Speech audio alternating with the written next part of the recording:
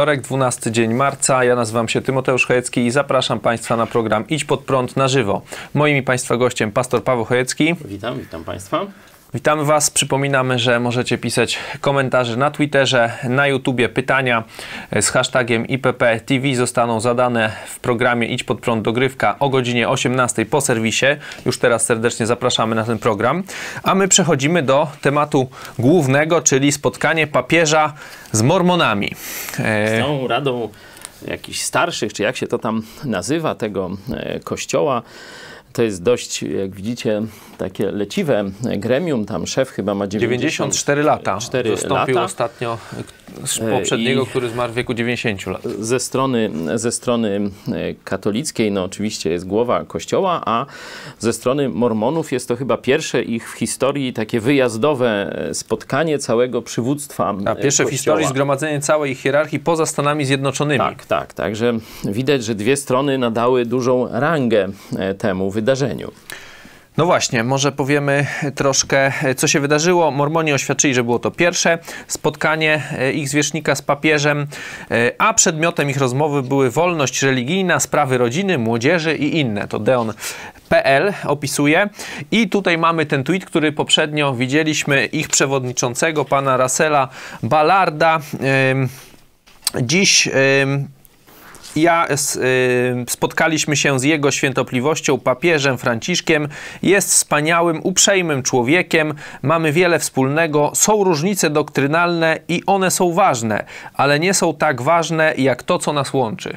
No i pytanie tytułowe, co ich łączy w takim razie? No właśnie, tu jest bardzo, bardzo ciekawa e, sprawa w tym twicie, że są jakieś różnice doktrynalne, nie? czy rozumiem, że czy różnice nauki Kościoła katolickiego i tam nie wiem, czy kościoła, czy jak to, kościoła mormonów, to się chyba jakoś nazywa świętych dni ostatnich, kościoła Jezusa Chrystusa, świętych dniach ostatnich, chyba tak to się nazywa. W skrócie będziemy używać nazwę mormoni, że te różnice dotyczące wizji Boga, zbawienia, autorytetu, czyli co jest podstawą wiary, to różni, ale coś ważniejszego niż to, jaki jest Bóg i jak możemy go poznać, jak uniknąć y, piekła i tak dalej, że są jeszcze ważniejsze sprawy. Jak myślisz, może zapytamy naszego trzeciego gościa, jakie to ważniejsze sprawy mogą łączyć, kiedy Jego to trzeba tak ściskać. a, już od razu. Już od razu. Jakie to ważniejsze sprawy mogą ich łączyć, kiedy dzieli ich wszystko? Praktycznie, jeśli chodzi o to, czym zajmują się Powiedziałeś, kościoły. że dzieli ich wszystko. No może No tak. właśnie y, przytoczymy troszkę tej historii, no bo się w Polsce mówi mormoni, każdy wie, że to jest jakaś, powiedzmy, sekta, tak? Czy jakiś, No, można jakiś tak ruch powiedzieć, religijny, ale nie bardzo wiemy o co, chodzi, tak? Tak. Przeczytam informację właśnie z tego Deona. Kościół Jezusa Chrystusa Świętych w Dniach Ostatnich. To jest oficjalna nazwa e, Kościoła Mormonów. Liczy obecnie około 16 milionów członków na całym świecie. Jest wspólnotą wyznaniową. Powstało w 1830 roku w Stanach Zjednoczonych. Ciekawe teraz. W wyniku objawień, których rok wcześniej miał doznać Joseph Smith, e, który żył tam od 805 do 404 roku, 1800, w 1823 miał mu się ukazać prorok Moroni, za którego wskazaniem os- 18-letni wówczas Smith odkrył złote płyty z tekstem w języku staroegipskim, którego nie znał, ale pod wpływem natchnienia przetłumaczył je na język angielski, po czym anioł zabrał je do nieba i nie ma tych śladów Tak, teraz tu, tego objawienia. jak widać, troszeczkę jezuici się pogubili w tych różnicach między prorokiem a aniołem, bo raz Moroni jest nazwany prorokiem, Tak. chyba że źle przeczytałeś, nie? Ale jest. Raz jest prorokiem No właśnie, rzeczywiście, a, raz później jest aniołem. anioł. No, to, to, oni mówią anioł oczywiście. No, zobaczcie, że to e, historia tego kościoła jest bardzo e, podobna do takich rozmów przy wycinaniu lasu, nie? Gdzieś e, w Na Sęczku, na Świętej Lipce ukazały się złote tablice i, że tak języku powiem, staroegipskim. staroegipskim i, e, że tak powiem, e, pijany Złote płyty e, pijany drwal tam je odczytał, no bo to mniej więcej podobnie, no bo nie znał, odczytał i tak dalej. No og- ogólnie kpina jedna i polewka, nie? Także źródło autorytetu, zobaczcie, w kręgach chrześcijańskich, no powiedzmy, że kulturowo jeszcze katolicyzm zaliczymy do e, chrześcijaństwa, no to źródłem autorytetu jest Słowo Boże, Biblia. Stary i Nowy Testament. Nie? No tu są To jakieś jest- złote e, A- płyty, które się ukazały, ale potem anioł je zabrał i śladu nie No ma. właśnie, nie ma żadnego materialnego e, śladu, nie ma niczego, do czego można by się odwołać, tylko jakieś zwidy jakiegoś smyfa, nie? E, I to jest cała podstawa e, wiary tego kościoła dni ostatnich, a- czyli tych mormonów, nie? E, I jeszcze są dodatkowe śmieszne rzeczy oprócz e, No właśnie, tych szopek.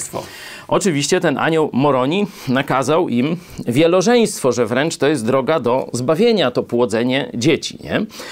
No ale państwo się ugruntowało, e, Stany Zjednoczone, bo kiedy oni gdzieś tam w okolicach tej Utah tam sobie siedzieli, nikt ich... Salt Lake City. Tak, to tam różne brzydkie sprawy też się działy. No nie będziemy, jak to się mówi, o wszystkim opowiadać, bo za dużo e, czasu. Możecie sobie doczytać. Zdaje się, pierwsze ludobójstwo na białych osadnikach dokonanych przez białych, no to jest właśnie e, sprawa e, Mormonów, ale e, zostawmy te rzeczy, a przejdźmy z powrotem do ich doktryny, czy źródła nauki. Ten anioł Moroni na tych tablicach im ogłosił to wielożeństwo jako jeden z aspektów, czy rzeczy koniecznych do zbawienia, to rodzenie dzieci i tak dalej, no ale później państwo zaczęło ich cisnąć.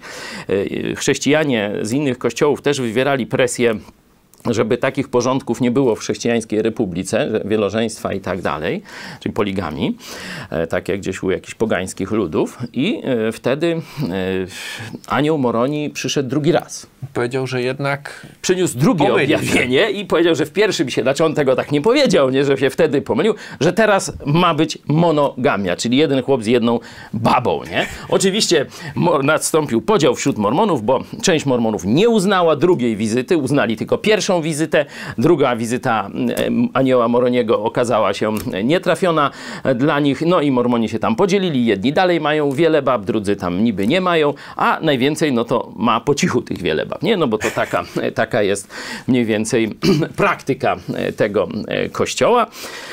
No i teraz na to nakłada się wizyta.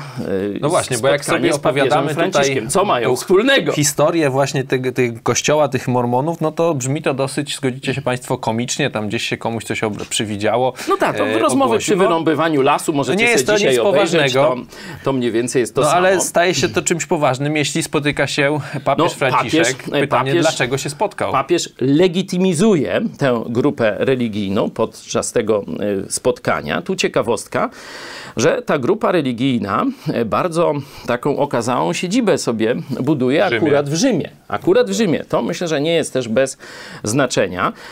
Tam jakieś no, bardzo wystawne, owiane tajemnicą inwestycje. na, na slajdach trochę tych ich siedzib, bo to są takie jak z bajek takie zamki. No bo bajkowa doktryna, no to i siedziby jak z barona Minhausena mniej więcej.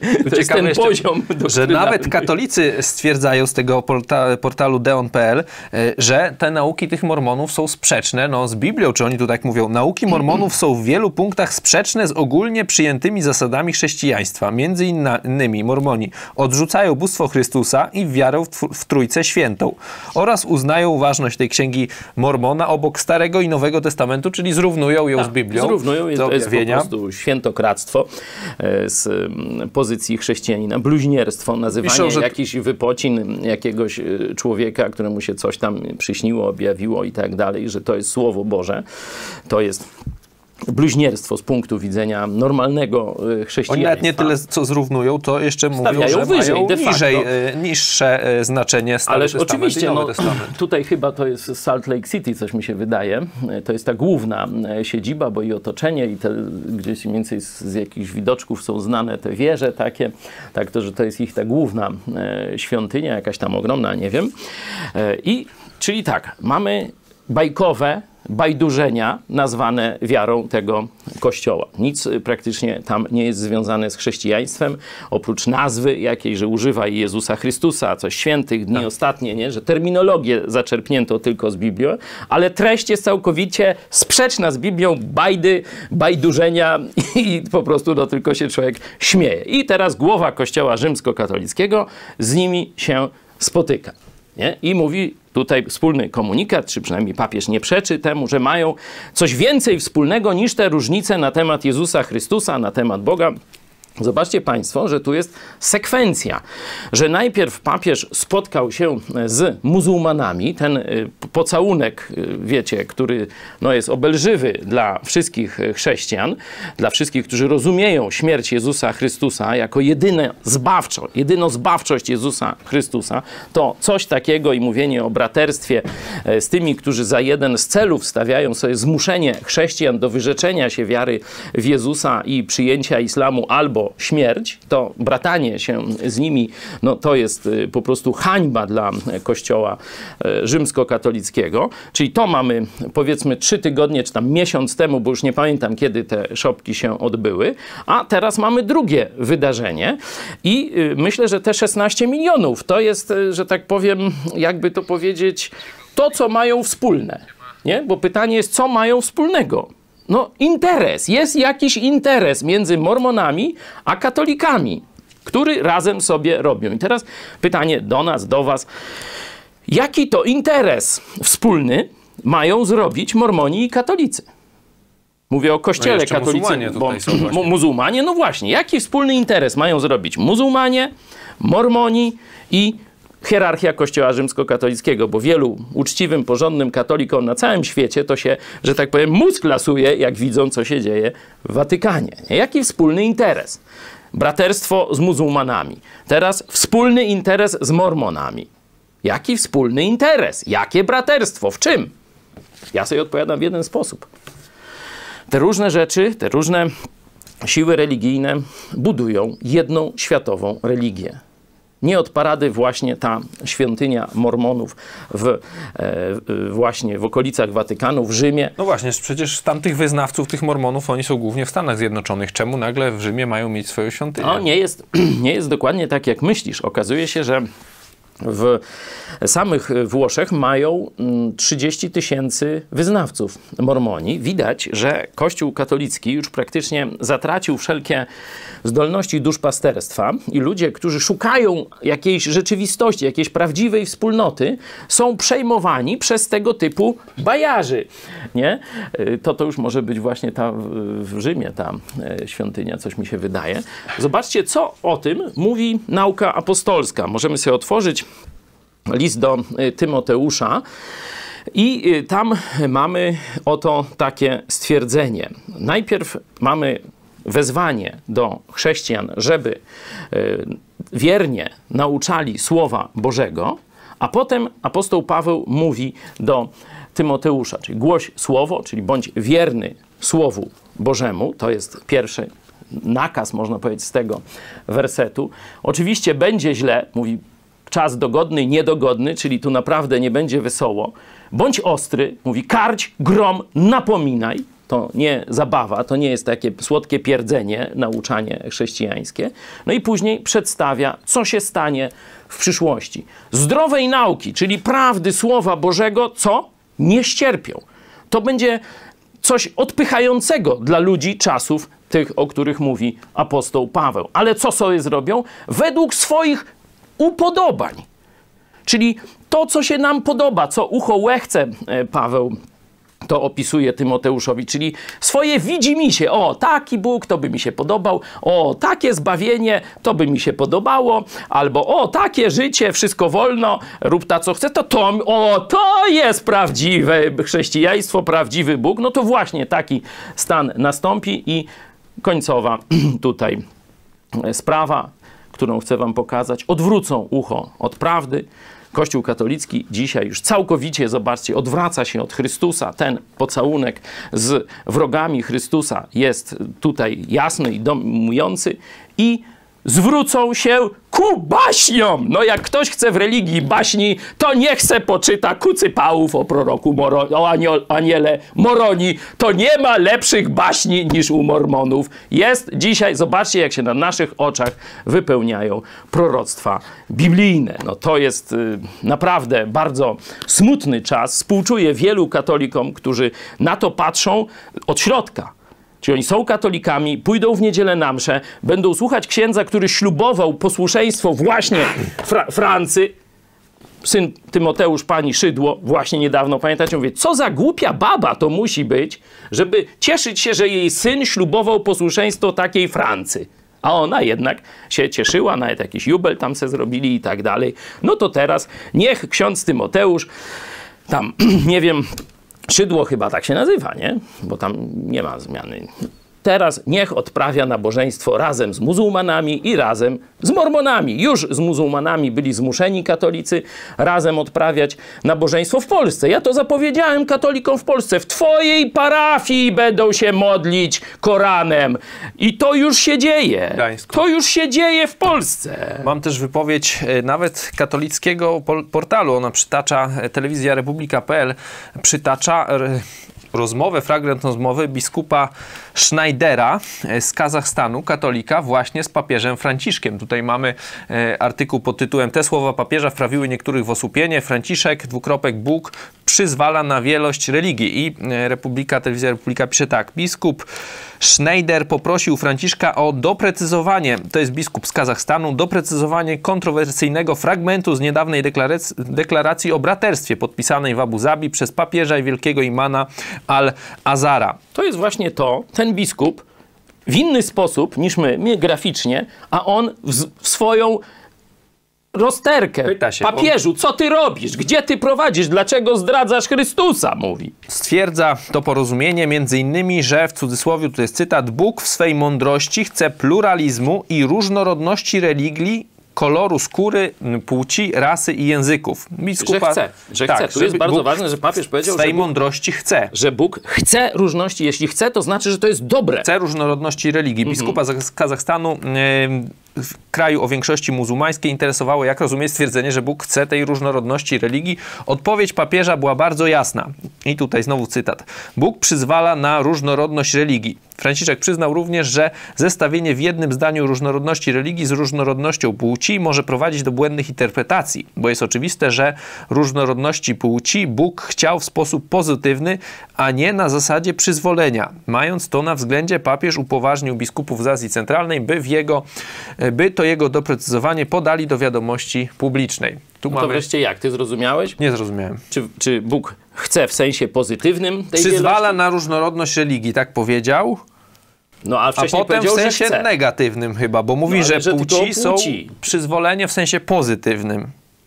No to już katolicy sobie to rozbierzcie na czynniki pierwsze, bo normalny człowiek tego nie zrozumie. Ja przy, przy, mówię tylko, że e, Bóg dopuszcza na przykład do zabijania dzieci nienarodzonych.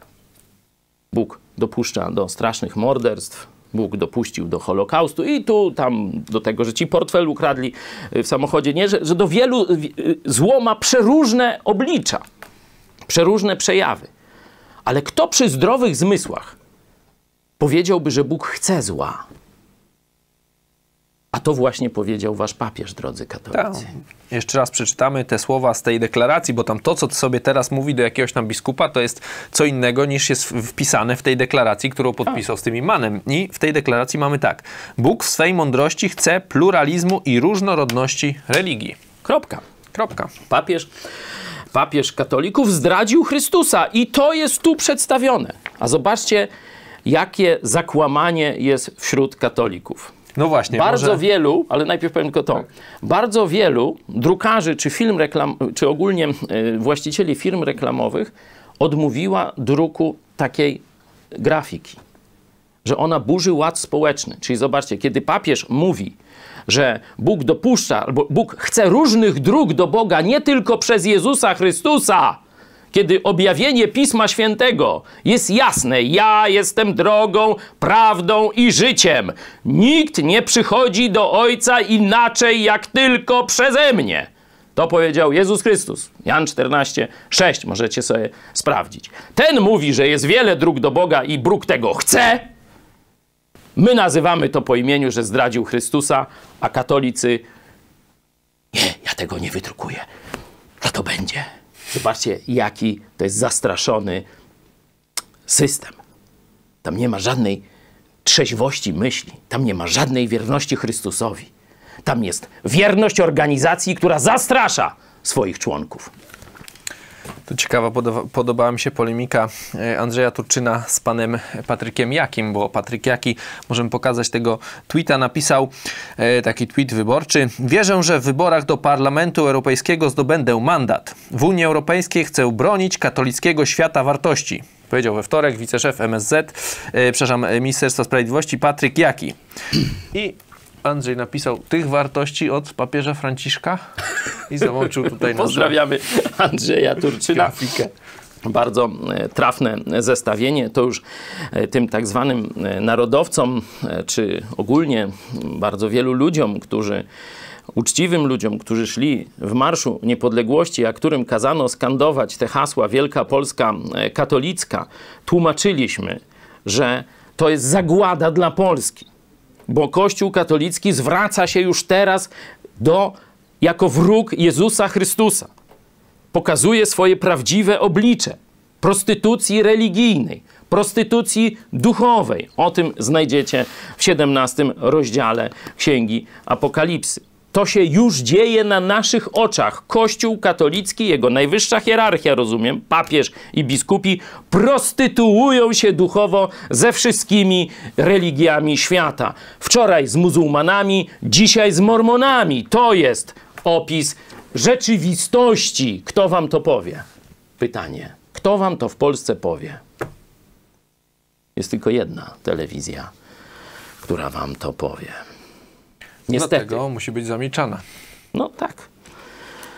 To już tak jest. Będą tam wszystkich pokazywać nas. Nie, ale jakoś sobie poradzimy. Coraz nowi ludzie przychodzą i nas oglądają i mówią: Ty, tyle pomyj widziałem na jego temat w internecie, ale to, co on mówi, to jest to, co mi w duszy gra. To jest prawda, tak jak ja ją rozumiem. Coraz więcej takich ludzi. Na każdym zjeździe przyjeżdżają nowi tacy ludzie, którzy o tym zaświadczają. Pozdrawiam Was bardzo serdecznie. Coś jeszcze o tych wieprzkach, czy przechodzimy do drugiego tematu? No, większość powiedzieli. No, myślę, że warto, żebyście ten tekst biblijny sobie e, no, jakoś wzięli do serca, że żyjemy w takich właśnie czasach, że baśnie będą przeciwstawiane zdrowej nauce. Jeśli można by rozszerzyć tych mormonów, nie? bo e, wielu ludzi niezorientowanych w sprawach e, takich, można powiedzieć, mm, kościelnych, doktrynalnych, czy historii protestantyzmu, takich ludzi, czy takie mm, grupy religijne jak mormonów, świadków Jehowy, adwentystów Dnia Siódmego zaliczają do chrześcijan. W rzeczywistości e, to są organizacje religijne, które wyszły poza taki, można powiedzieć, kanon chrześcijaństwa, bo kanon chrześcijaństwa to jest sola scriptura. Sola scriptura, czyli tylko Pismo Święte jest źródłem autorytetu, czyli normą, do której wszystkie inne normy i przekonania mają być dostosowane w chrześcijaństwie jest Pismo Święte. To jest ta norma nienormowalna, czy nie, której nie dostosowujemy, bo to jest Słowo Boga. I tutaj oczywiście rzymski katolicyzm dołożył swoje przeróżne objawienia, które uznał za Słowo Boga i dołożył siebie, e, powiedział, że to urząd nauczycielski Kościoła będzie decydował, co jest prawdą, a co nie. nie? Nadał sobie taki, taki atrybut Boga e, i jeszcze do tego dołożył tak zwaną swoją tradycję i ten Urząd Nauczycielski Kościoła z tej tradycji wybiera co chce, raz jest to na topie, raz to, raz karpia można jeść, raz nie można i tak hop siup, zmiana dup, nie? A y, od czasu, a jeszcze oprócz Kościoła Rzymskokatolickiego, który przyjął właśnie te inne objawienia niż tylko Słowo Boże, w kręgach powiedzmy świata protestanckiego wyrosły te takie trzy główne, bo jest tego dużo, dużo więcej tam mniejszych proroków, którzy e, twierdzą, że oni coś mają oprócz Pisma Świętego, ale trzy takie najbardziej znane grupy religijne to są właśnie Mormoni z księgą Mormona, tego, który anioł Moroni im dał, nazywa się to księgą Mormona. E, są świadkowie Jehowy, którzy mają takie pisma tam tego swojego założyciela Rasela i one są jak gdyby światłem, żeby zrozumieć Pismo Święte, że bez tych pism, pism tego Rasela to się tego nie zrozumie i podobną rolę u adwentystów dnia siódmego ma taka prorokini Ellen White y, z kolei, nie? czyli że coś jest obok Biblii dostawione. No i jeszcze tego typu grup jest bardzo, bardzo wiele. W tym nakazie, który daje nam Słowo Boże, które czytałem wam z nauki apostolskiej, jest bardzo jasno powiedziane. Głoś Słowo. To jest message, to jest posłanie prawdziwego Kościoła. Głoś Słowo, a nie jakieś ludzkie objawienia. Warto, by Polacy, warto, by katolicy przejrzeli na oczy i zobaczyli, jak dzisiaj są prowadzeni całkowicie w przeciwną stronę niż Bóg sobie tego życzy, niż Bóg chce. Dzisiaj już ich papież mówi, że Bóg chce, żeby wyznawać e, Mahometa e, i wyznawać Allaha, czyli iść za prorokiem Mahometem i wyznawać Allaha. To powiedział papież muzułmanom. Bóg tego chce. Katolicki Bóg tego chce. Czy twój Bóg tego chce? A dokładnie, czy prawdziwy Bóg tego chce? Czy Jezus Chrystus, który na krzyżu zmarł, tego chciał. Zobaczcie, że Jezus przed śmiercią modli się takimi słowami. Boże, jeśli to możliwe, Ojcze, jeśli to możliwe, oddal ten kielich ode mnie. Czyli jeśli jest jakaś inna droga zbawienia, to niech ja nie idę za Ciebie, Ciebie, za mnie na krzyż. I odpowiedź jest: nie ma innej drogi. I Jezus poszedł na krzyż. I każdy, kto mówi, że jest inna droga, nie przez Chrystusa, pluje na ofiarę Jezusa Chrystusa. To jest największy bluźnierca ze świata chrześcijańskiego. Dlatego apostoł Paweł na początku listu do Galacjan mówi, jeśli ktoś będzie wam inną dobrą nowinę głosił niż ta, niech będzie przeklęty. No, nawet można powiedzieć, że to bliwie pierwszy papież, apostoł Piotr, przecież e, też powiedział w dziejach apostolskich e, w czwartym rozdziale, że nie ma w nikim innym, w żadnym imieniu W żadnym zbawienia. nawet, tak. E, czyli żadnych tam Allahów, Moroni. Trzeba wezwać. Boga, Jezusa Chrystusa. Jezu, zbaw mnie. To trzeba zrobić, żeby być zbawionym. To jest nauka apostolska. No, papież widać jakoś e, dosyć daleko od niej odszedł. No, zaprzeczył. On jej zaprzeczył, dlatego biskupi się buntują niektórzy po cichu, albo niektórzy mają trochę więcej odwagi, ale myślę, że machina katolicka już jest tak. Pokazywałem to na przykładzie druku tej prostej rzeczy u katolików, którzy przecież nie są związani ślubami, posłuszeństwa i tak dalej. Ale katolicyzm wytwarza z jednej strony taką mafijną wspólnotę, to można sobie e, w filmie tym o e, pedofilach e, w Stanach Zjednoczonych, jaki tytuł? Spotlight. Spotlight, tam zobacz, jaka zmowa milczenia, że rzekomo dla dobra Boga będziemy kryć pedofili. Tak katolicy myślą, czyli jest taka wspólnota zbrodni, żeby chronić organizację, a z drugiej strony jest strach, co ludzie powiedzą i czy ksiądz mnie nie opieprzy. Zambony powie i tak dalej. Nie? Także to jest organizacja zbudowana na strachu, a nie na prawdzie bo ona jest gotowa negować prawdę. Ten film Spotlight i przecież zresztą u nas e, ten film Claire to jest jakaś, e, jakaś taka próba nawiązania do tego tematu, że wielu ludzi, wielu biskupów, wielu świeckich katolików będzie tłumić prawdę w imię Boga. To nie jest Kościół Boga. Przejdziemy teraz do drugiego naszego tematu. E, O nim dzisiaj wszyscy trąbią. E, Rocznica, dokładnie 20 lat temu, 12 marca 1999 roku, Polska, Czechy i Węgry zostały przyjęte do NATO. Może na początek troszkę przytoczymy chronologii, bo dzisiaj się mówi, że to oczywiście pan Geremek, Mazowiecki, Lech Wałęsa. Oni byli Te nazwiska- przeciwni.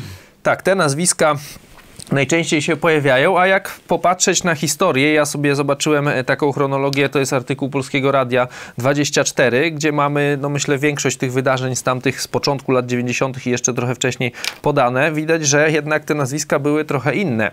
Pierwsza taka e, w ogóle informacja o tym, że coś może być, że Polska kiedyś do NATO, e, pada w kwietniu 89 roku podczas szczytu NATO w Brukseli. Sekretarz NATO ostrożnie oświadczył, że przemiany we wschodniej Europie skłaniają do ponownego przemyślenia stosunków NATO i Układu Warszawskiego. To była pierwsza taka e, wzmianka w październiku 89 roku, czyli kilka miesięcy później. Po raz pierwszy w historii e, NATO na obrady Zgromadzenia Parlamentarnego w Rzymie zaproszono dwóch parlamentarzystów z Polski. Jana Rokitę z Obywatelskiego Klubu Parlamentarnego i Krzysztofa Komornickiego z PZPR. Czyli to jest rok 89.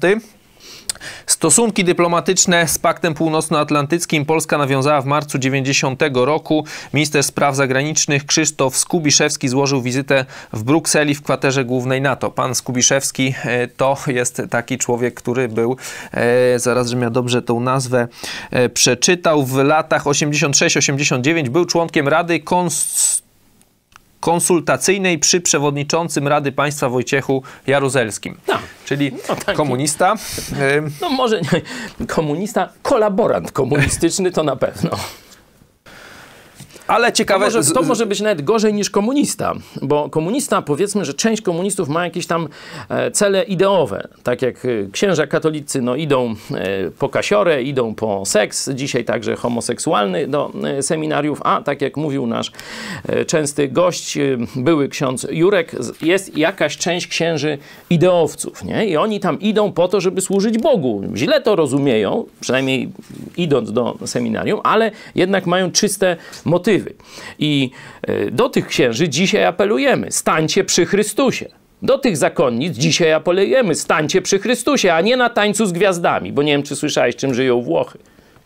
A, wiem, że zakonnica powiedziała, że nie będzie tańczyć z Nie będzie, A, będzie, będzie tak? tylko nie umie. Się nauczy. I to wszystko dla zbawienia łowiecek. Kuna za tańcy z chłopem, to jeszcze niech do łóżka idzie. Ale z księdzem? Nie, z jakimś tam modelem, no. Także to są, to są te te czasy. Jedźmy dalej. Ale ciekawe, co pan Skurbiszewski, on nawiązał te... Także jeszcze tylko dokończę ten, tę myśl z tymi komunistami, że kolaboranci komunistyczni, czyli ci, którzy nie wierzyli w komunizm, ale za pieniądze lub za stanowiska służyli komunistom, w moim rozumieniu moralnie są gorszymi ludźmi niż ci tak zwani ideowi komuniści. Tak. No i pan Skubiszewski niby nawiązał te relacje, ale ciekawe co powiedział. E, stwierdził, że Układ Warszawski zakończy swoje istnienie, kiedy zostanie stworzony nowy system bezpieczeństwa europejskiego. Czyli nie NATO, tylko oni myśleli, że zakończy, jak a. będzie coś nowego. To już były te globalistyczne przygrywki. Tak. Myślę, że dlatego do dzisiaj tak mało wiemy o upadku tego breżniewowskiego e, komunizmu, ponieważ to dokonało się we współpracy z częścią elit zachodnich. To już widzimy, jak podałeś, zobaczcie, 80 chyba tam 8 czy 9 rok, już stwierdzili, że no przemyślimy tu nowy 89. ład. 89. Tu jeszcze nic nie wiadomo, w którą to stronę... rocznica założenia NATO. Tak, ale nie, mówię, ta, ta pierwsza wypowiedź, zanim jeszcze tam Rokitę i tego drugiego z PZPR tam e, wzięto. Tak, 89.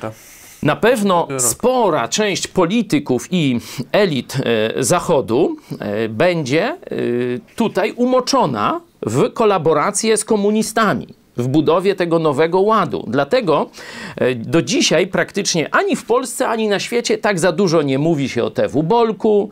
Tam, wiesz, przyjeżdża oficjalne delegacje, to zawsze tam TW, TW Bolkowi jakieś tam, no, tam, nie wiem, życzenia czy coś, a tylko dopiero w takich eksperckich gremiach, gdzieś na uczelniach to się mówi prawdę o TW Bolku i tak dalej. Także Widać, że e, tutaj e, Zachód ma też na sumieniu poważne jakieś rzeczy związane z przymknięciem e, oka na zbrodnie komunistyczne, bo zobaczcie, po pokonaniu hitleryzmu była Norymberga, nie?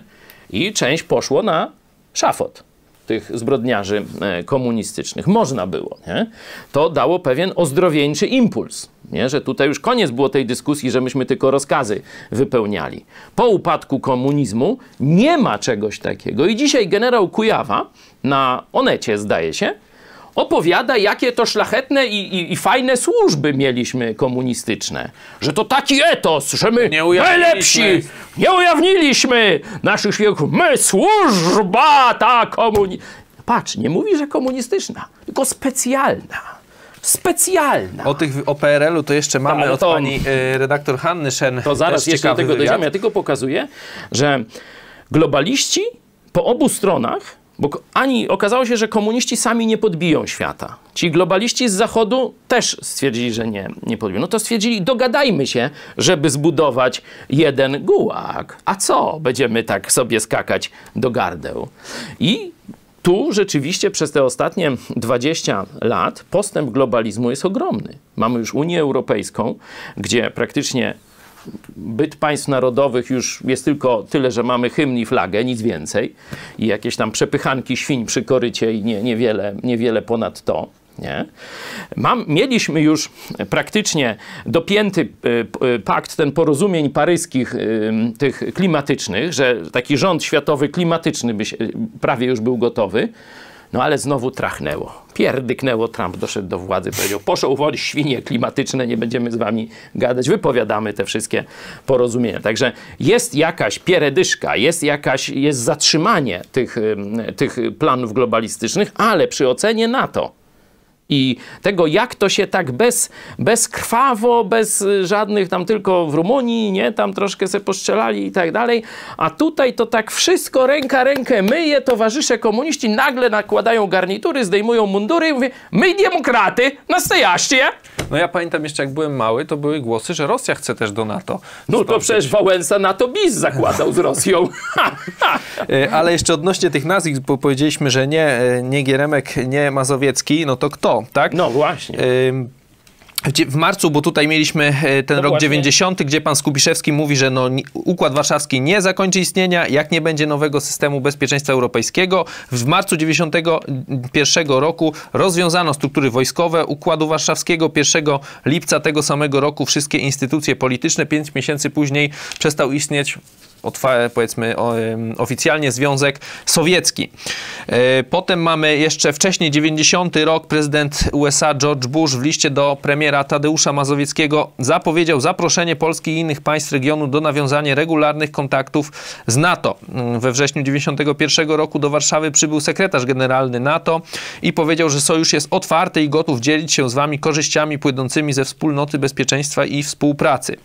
No ale z polskiej strony jakoś nie bardzo było e, wielkiego tutaj zaangażowania. I przełomem e, dla tych polskich starań o wejście do NATO było powołanie rządu premiera Jana Olszewskiego i kwestia ta pojawiła się już w ekspoze wygłoszonym 21 grudnia 1991 roku. Dlatego ten człowiek jest e, do dzisiaj tak znienawidzony nawet przez część elit pisowskich. Przypominam, że jeszcze za życia premiera Olszewskiego prezydent Duda wymieniał bohaterów naszej niepodległości. I kogo? No, nie wiem jakich słów użyć, ale bardziej mi chodzi o określenie tego, bo on zdrajców podał. Nie? A nie wymienił właśnie premiera Olszewskiego. Akurat tak się złożyło, że zaraz, tuż potem zmarł premier Olszewski tak. i wtedy Duda, a lepiej by było powiedzieć co innego, o jaki bohater, jak ja go kochałem, jaki ja zawsze i tak dalej. A chyba dwa tygodnie czy ileś wcześniej, kiedy mógł wymienić ojców niepodległości, jeśli w ogóle mówić o niepodległości można, to w ogóle zapomniał o premierze Olszewskim. Nie? On jest, premier Olszewski, był znienawidzony przez cały ten komunistyczny przez niestety cały ten pseudodemokratyczny, przecież ile pomyj na premiera Olszewskiego towarzysz Michnik i jego gazecina obszczana wylewały wtedy. Pamiętam, bo czytałem to każdego dnia i myślę, ale to musi być zły człowiek, tam kury się przestaną nieść, nie wiem, krowy, mleka dawać, jak jeszcze parę miesięcy. Taka była nagonka rozpętana przez Michnika i spółkę. I do tego, zobaczcie, dzisiaj Duda praktycznie go pominął, jeśli chodzi o bohaterów tych czasów. To jest hańba dla prezydenta Dudy, tego się już nie da zmyć. Warto pamiętać przy najbliższych wyborach prezydenckich. Też jeszcze kolejne nazwisko, wtedy e, tamtejszy minister obrony narodowej w rządzie Jana Olszewskiego, pan Jan Parys, powiedział w lutym 1992 roku, że Polska na dłuższą metę chce zostać częścią NATO. Ja jeszcze może e, przeczytam treść tego expose wygłoszonego przez premiera Olszewskiego wtedy 21 grudnia 1991 roku.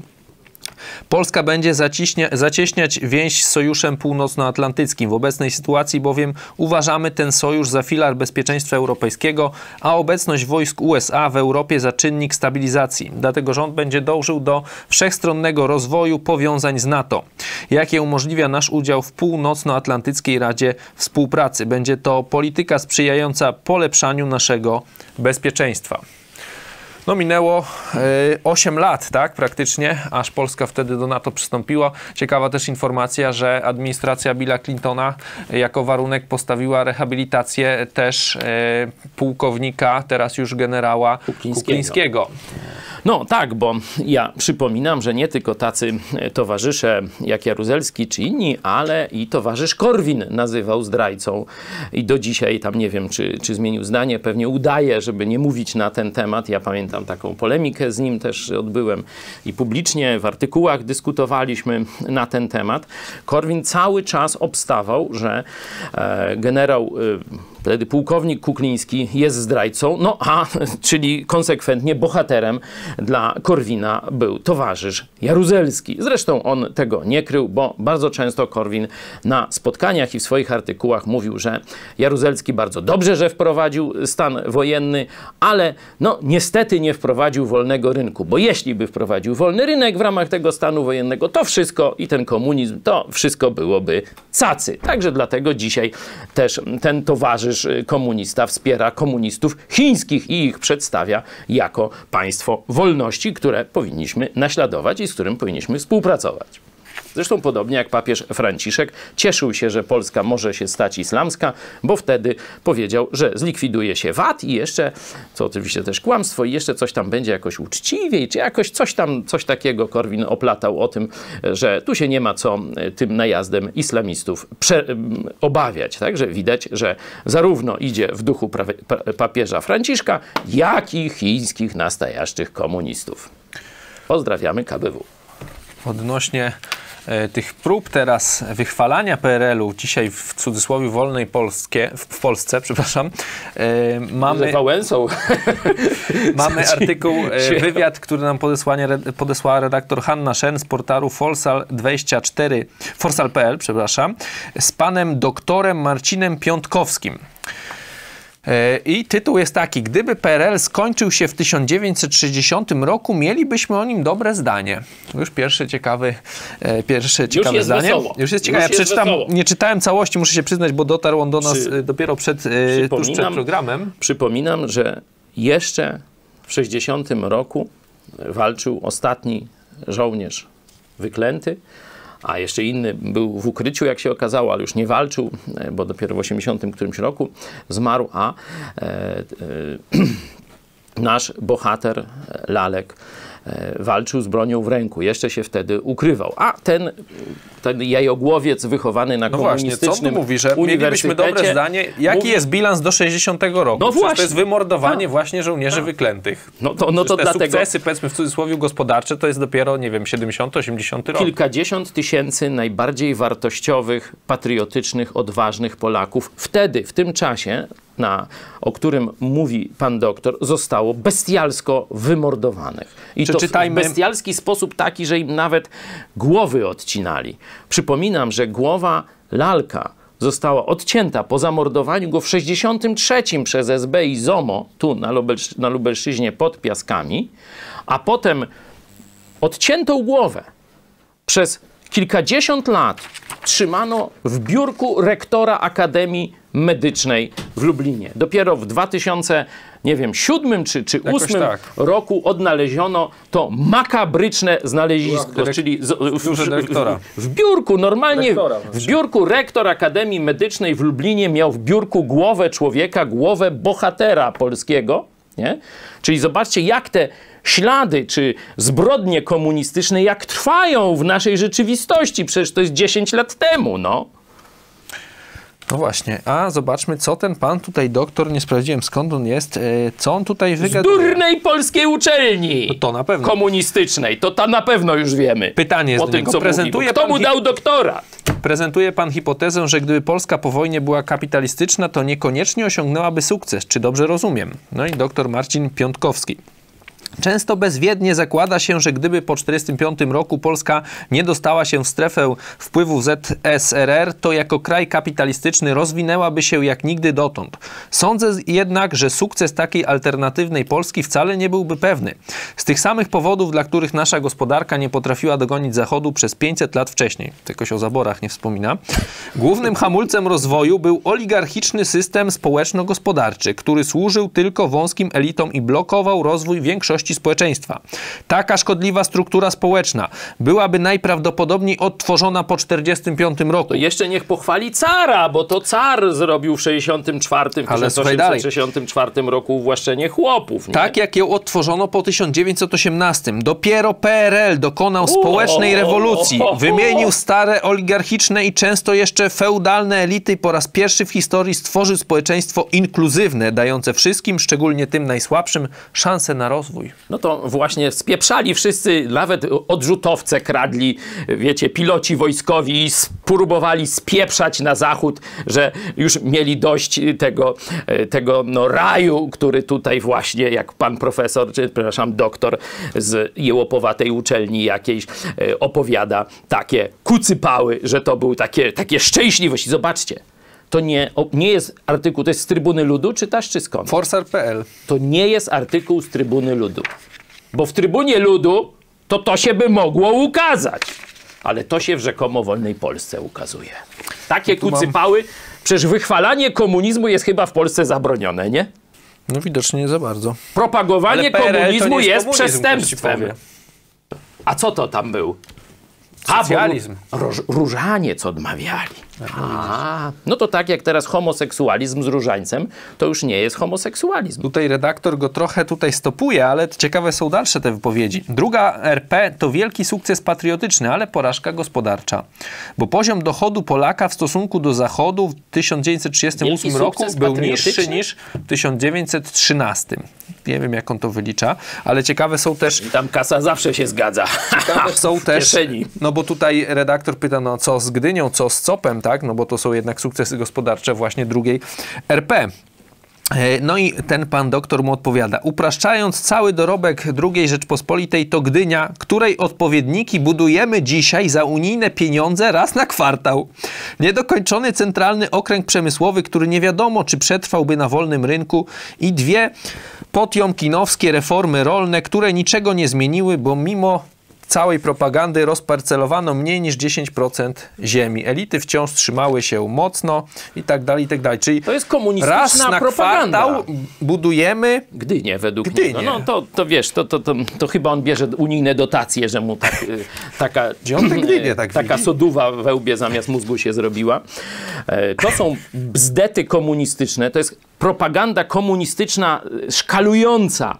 To, to właśnie co Wajda zrobił film Lotna. Pamiętacie, jak szkalował wojsko polskie, które, wiecie, w jakimś amoku nie, z szablami wali w, czoł, w lufy czołgów, tnie szablą polski ułan. No to jest tak, e, tak zakłamanie historii i tak pokazanie zohydzenia e, trzeciej RP, że no, e, przepraszam, drugiej Rzeczpospolitej, że Wa, Wajda nigdy nie powinien być wymieniany wśród polskich twórców, bo on był w rzeczywistości komunistycznym twórcą, który miał Polskę zniesławiać swoimi e, filmami i film kanał bardzo e, podobnie. No to ten pan, e, niech będzie doktor, może no, właśnie, może ci przeczytam, kim on tu jest. Ale czekaj, tylko dokończę tylko. On atakuje, nie tylko wychwala komunizm, propaguje komunizm tych jeszcze Gomułkowski, to próbuje w oczach Polaków zdyskredytować ostatnie państwo polskie, jakieśmy mieli, czyli drugą RP. Tutaj e, mam e, takie krótkie bio pana doktora Marcina Piątkowskiego. Jest to adiunkt w Centrum Badawczym Tiger. Tiger to jest, y, produkują tam takie te napoje energetyzujące i widać, że za dużo się napił. No i właśnie jest, no. Macie efekt, mózg. Wykładowca ekonomii w Akademii Leona Koźmińskiego oraz starszy ekonomista w Banku Światowym w Warszawie. Były główny ekonomista PKO BP w 2008 roku, ekonomista w Departamencie Europejskim i doradca dyrektora wykonawczego w Międzynarodowym Funduszu Walutowym w Waszyngtonie 2004-2008. To można tylko, przepraszam, po, potwierdza moją tezę, że to, co się teraz dzieje w Polsce, to jest projekt globalizmu, e, zarówno tych komunistów ze wschodu, moskiewskich i teraz chińskich, którzy się, że tak powiem, przed, przestawili na wolny rynek i komunistów z zachodu, z takich organizacji jak właśnie wymieniłeś Bank Światowy czy Międzynarodowy Fundusz, Fundusz Walutowy. Walutowy, widać, że zobaczcie, ten człowiek jest tam ekspertem, a Polakom taki smród intelektualny roznosi za, Pola, za rzekomo po, za pośrednictwem polskich wolnych mediów. Ale już był widać, że za SLD, bo zobacz, doradca wicepremiera i ministra finansów RP 2002-2003. No to przecież wtedy Miller aż, rządził. Aż to mnie nie zdziwiło, aż to mnie nie zdziwiło. Pytałeś się, skąd jest doktorem. Doktor Akademii Leona Koźmińskiego w Warszawie i magister SGH, czyli Szkoły Głównej Handlowej, komentator ekonomiczny i tak dalej. I tak przynosi na pewno SGH, a na e, tę drugą uczelnię, no to już wiecie, łuk szeroki i do widzenia. Także, e, no jak skomentujesz te próby, że już widać tutaj w Polsce mamy tak, tutaj mamy resuscytację czy rehabilitację, można powiedzieć, PRL-u. Próba, tak. że w 1960, gdyby się zakończyło, no to, to by, mieli bardzo dobre dobrze. zdanie. To nie wiem, no dlaczego mamy mieć później złe zdanie? No Co też, się wydarzyło w tych pozostałych tam 30 wiem, przecież, latach? Przecież fabryka samochodów małolitrażowych w Tychach, nie? Mieliśmy maluchy, no to przecież cud techniki normalnie, a nie wiem, panie doktorze, dlaczego pan malucha nie chwalisz jako najlepszego samochodu świata. No, ja nie rozumiem tego, ale to wiecie. Szkoda naprawdę czasu naszych widzów. Jeszcze parę zdań o e, generale Kujawie już e, za, e, zapowiedziałem. Ten pan, no taki bardzo szeroki wywiad dał na Onecie. Przemęczyłem się, całe to to przeczytałem. No, jedno jest y, z tego pewne. Komunistyczne służby to nie były komunistyczne służby, tylko były polskie służby i były takie fachow tak fachowcy, że Amerykanie przy nim to wymiękają, siadają i tego, a najgorszym wrogiem jest Macierewicz. Tak. To taki mniej więcej z tego. Tamci to byli ludzie takiego honoru że oni żadnemu wyklętemu łba nie, nie, nie odcięli motyką czy, czy, czy łopatą, i to normalnie Bóg, honor i ojczyzna to każdy łubek, wsiok czy inny tam z informacji wojskowej miał i order powinien dostać i emeryturę dożywotnią, a w niebie komunistycznym też powinien mieć. No to to jest mniej więcej tak odczytałem te bzdety, które ten generał e, opowiada. Czyli takich mamy generałów, takich mamy doktorów. doktorów. To jest właśnie trzecia RP, komunistyczny bękart.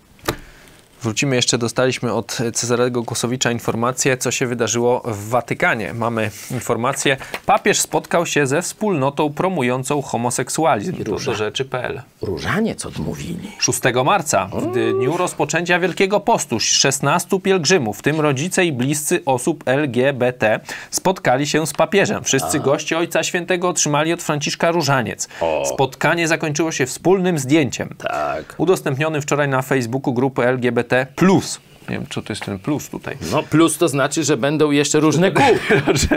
Działająca w Londynie wspólnota LGBT+, Catholics Westminster pracuje z osobami LGBT i ich bliskimi. Jak czytamy na stronie organizacji, praca z tymi osobami nieuchronnie prowadzi do wniosku, że nauczanie Kościoła w kwestii seksualności i tożsamości płci to rozwiązujący się, rozwijający, rozwijający się, się obszar, a nie coś, co zostało ustalone raz na zawsze. Czyli możemy się niedługo spodziewać co? To jest dokładnie to, co wam powiedziałem że najpierw patrzymy, jaki, jaki jest dzień w kalendarzu. Ja, dzisiaj mamy wtorek, nie? U nas było e, piątek, to był dzień LGBT, nie? U nas w szkole tak za dawnych lat. A piątek, dzień i tak dalej, nie? Roweru. E, I tam zaraz różowe skarpetki, białe skarpetki. No różne tam były e, pomysły. Śmialiśmy się wtedy z tego. Takie były czasy, to jeszcze było dozwolone. Przypominam film Seks Misja, to tam też to było dozwolone. Teraz e, nie wiadomo, czy jest dozwolone, nikt nie wie większość woli nie mówić, bo się boi. To dokładnie tak jak w kościele katolickim. Zobaczcie, tu mamy książkę Inkwizycja.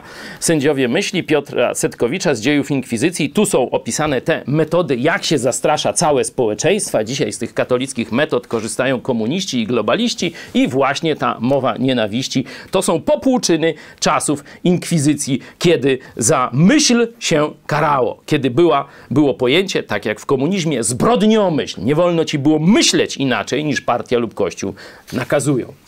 Dlatego teraz e, no, katolicy dostają takiego mm, no, zamętu ideowego, o którym mówimy. Nie wiadomo, jaki jest dzień tygodnia, czyli jaka doktryna dzisiaj obowiązuje. Bo jeszcze wczoraj było przeciwko, kilku biskupów katolickich się wypowiedziało przeciwko LGBT, a dzisiaj papież Różaniec se odmawia, zdjęcie na Facebooku robi właśnie ze środowiskiem LGBT. No i co ten biedny katolik ma teraz myśleć? Jak myślisz, co on będzie myślał? No już przestanie się interesować według mnie tym wszystkim. On nic nie będzie myślał. On będzie, aha, tylko mówił. Aha. To już nic nie wiem. Aha. A chromole taką dole i w ogóle się przestanie czymkolwiek interesować. I tu mamy młode pokolenie. Kornelia e, pisała e, pracę magisterską e, wraz z badaniami na Liberty University, porównywała katolicki Uniwersytet Lubelski i chrześcijański amerykański Uniwersytet Liberty. I prezentowała niedawno razem ze mną i z Tobą też, będąc na Uniwersytecie Liberty, prezentowała wyniki swoich prac. Jednym z tych obszarów badawczych było to, że Polska ma największą przepaść pomiędzy pokoleniami, jeśli chodzi o poglądy na temat Boga, czy ogólnie poglądy religijne. Czyli ludzie z mojego rocznika i ludzie z Twojego i niższego rocznika jest największa przepaść. To jest ewenement w skali całego świata praktycznie. Takie, takie zróżnicowanie. I co jest tego efektem? Oczywiście trudno to mierzyć, nie? bo tamtego. Pierwsze miejsce w samobójstwach na e, terenie Europy. Polska bezwzględnie ma pierwsze miejsce. Miała drugie, to badania chyba z 2014 roku. O, tu mamy zdjęcie Corneli na Liberty University i e, czekajcie, nie, to na kulu chyba. Nie, dobrze. No, tak, dobrze mówię? A, bo to tak. jest ten plakat, który, a tu już Cornelia przemawia, prezentując wyniki swoich badań, ale wróćmy do sprawy samobójstw w Polsce, że Polska jest na czele i to wzrost następuje lawinowy. Jeszcze kilka lat temu, to jest chyba 2014, mamy około między 200 a 300, a teraz mamy prawie 800, zdaje się, rocznie, rocznie samobójstw młodych ludzi. Czyli widać, że nastąpiło całkowicie zerwanie skuteczności katolickiego duszpasterstwa. Inaczej mówiąc, katolicyzm przestał ludziom podawać prawdę o Bogu. Oni już nic nie wiedzą na temat Boga i wartości. I głupieją, i są w matni, i są w lesie. I dlatego część z nich targa się na swoje życie, a wcześniej mówiłem o pladze przeróżnych depresji, pladze e, chorób e, psychicznych, szczególnie właśnie wśród młodych ludzi. A Kościół katolicki w swoim zwiedzeniu dokłada do pieca każdego dnia. Wczoraj muzułmanie, wczoraj, dzisiaj już mormoni, mówiliśmy, albo bardziej trzeba by tak powiedzieć. Przedwczoraj muzułmanie, wczoraj mormoni, dzisiaj mamy już LGBT w Watykanie. Proszę bardzo. Co, Co jeszcze? Dalej? Co jeszcze? Tu mamy, proszę, nasz e, billboard. Co jeszcze? Wielki znak zapytania. Co będzie jutro? Tośmy drukowali, kiedy nie było Mormonów, kiedy nie było LGBT w Watykanie. Zobaczcie, jak czas I, dałeś, leci. I tam jest rok 2020. A kiedyśmy, kiedyśmy to drukowali, przecież tydzień temu. Zobaczcie. Tydzień temu jeszcze nie wiedzieliśmy, że już tu są Mormoni, już tu jest LGBT. I to jeszcze 2019, dopiero to, się rozpoczął. To pędzi normalnie jak pentolino z kiełbasą normalnie. Za moment będziemy mieli, jakby to powiedzieli nasz, nasi hejterzy, połączenie z naszymi mocodawcami z Izraela. Będziemy mieli wywiad. E, także o tym za chwilę. Ja cię jeszcze na koniec e, spytam o komentarz, bo powiedziałeś o tym wzroście samobójstw wśród Polaków. Mamy też informację, że coraz więcej Polaków ma problemy finansowe. To Business Insider .com.pl podał, że 2,8 miliona Polaków nie radzi sobie z terminową spłatą zobowiązań. Wartość zaległych długów na koniec 2018 roku wynosiła 74 miliardy złotych. To jest o 6,8 miliarda złotych więcej niż rok wcześniej. Ty, ale jak to? To chyba, weź jeszcze raz, ty chyba źle czytasz. Przecież doktor mówił, że co tydzień nową gminę, czy przepraszam, nową co kwartał Gdynię. nową Gdynię budujemy za unijne te pieniądze. Bulary, czy jakie tam, srebrniki może. A premier Morawiecki razem z tym opasłym knurem, wiecie, z, z, co roku jest tam premier Morawiecki cudownym dzieckiem dwóch, e, przepraszam, cudownym dzieckiem Jarosława Kaczyńskiego i tam rozwój gospodarczy jest tak burzliwy, że im się od tych milionów w tych redakcjach karnowskich czy Sakiewicza w głowach już przewraca. A zwykły Polak co? Idzie na zebry. No właśnie, bo takśmy liczyli tutaj jadąc, że to jest y, ponad 2000 zł na dorosłą osobę. Średnio. Średnio, Średnio. tak. No, tak, oczywiście wiecie, średnio. jak 10 nie ma długów, no to wtedy ile ma ten jeden? No właśnie, jeszcze tutaj tak. Największy udział osób z problemami finansowymi widać wśród mieszkańców zachodniej części kraju. Ciekawe, bo się przyjmuje, że ona niby taka lepiej rozwinięta jest, choć liczba niesolidnych dłużników na wschodzie przyrasta szybciej niż na zachodzie. Mamy niemal 9 na 100 dorosłych rodaków nie radzi sobie z terminowym spłacaniem swoich zobowiązań finansowych. W raporcie... Jeden na 10 już, zobacz, Tak. bo to jest prawie W raporcie 10%. mowa jest o długach przeterminowanych powyżej 30 dni na co najmniej 200 zł. Mm. Najgorzej jest w zachodniopomorskim, lubuskim i na Dolnym Śląsku. Jest tam już 114 do 115 osób na, na 1000. E, tymczasem województwo podlaskie, lubelskie, podkarpackie na 1000 osób to jest e, mniej więcej od 48 do 60 osób. Najwięcej niesolidnych dłużników jest wśród 35 do 44 latków. Czyli też raczej tacy młodsi ludzie. To oczywiście jest ogromny e, problem e, rozbuchania oczekiwań, bo tu wiecie, cały czas reklamy są, że cię na wszystko stać, że tylko sekredycik weźmiesz i już jedziesz pod palmy, czy jeździsz takim samochodem, czy śmakiem, czyli jest ogromna taka presja konsumpcjonizmu, nie? A z drugiej strony ludzie nie mają zasad moralnych i mądrości Bożej. Bo Słowo Boże jasno ostrzega. Pożyczysz, będziesz niewolnikiem tego, od którego pożyczyłeś. Proste. Proste. Kiedy chrześcijanie są uczeni zasad finansowych z Biblii, to te społeczeństwa są zdrowe. Nie? I żyją skromnie, oszczędzają i dopiero z tego inwestują. Pożyczka jest jakimś, jakimś no, marginesem działalności biznesowej, jeśli chodzi o Pismo Święte. A dzisiaj przecież te wszystkie pożyczki nie idą w kierunku inwestycji, tylko konsumpcji. Kupmy se nowy telewizor.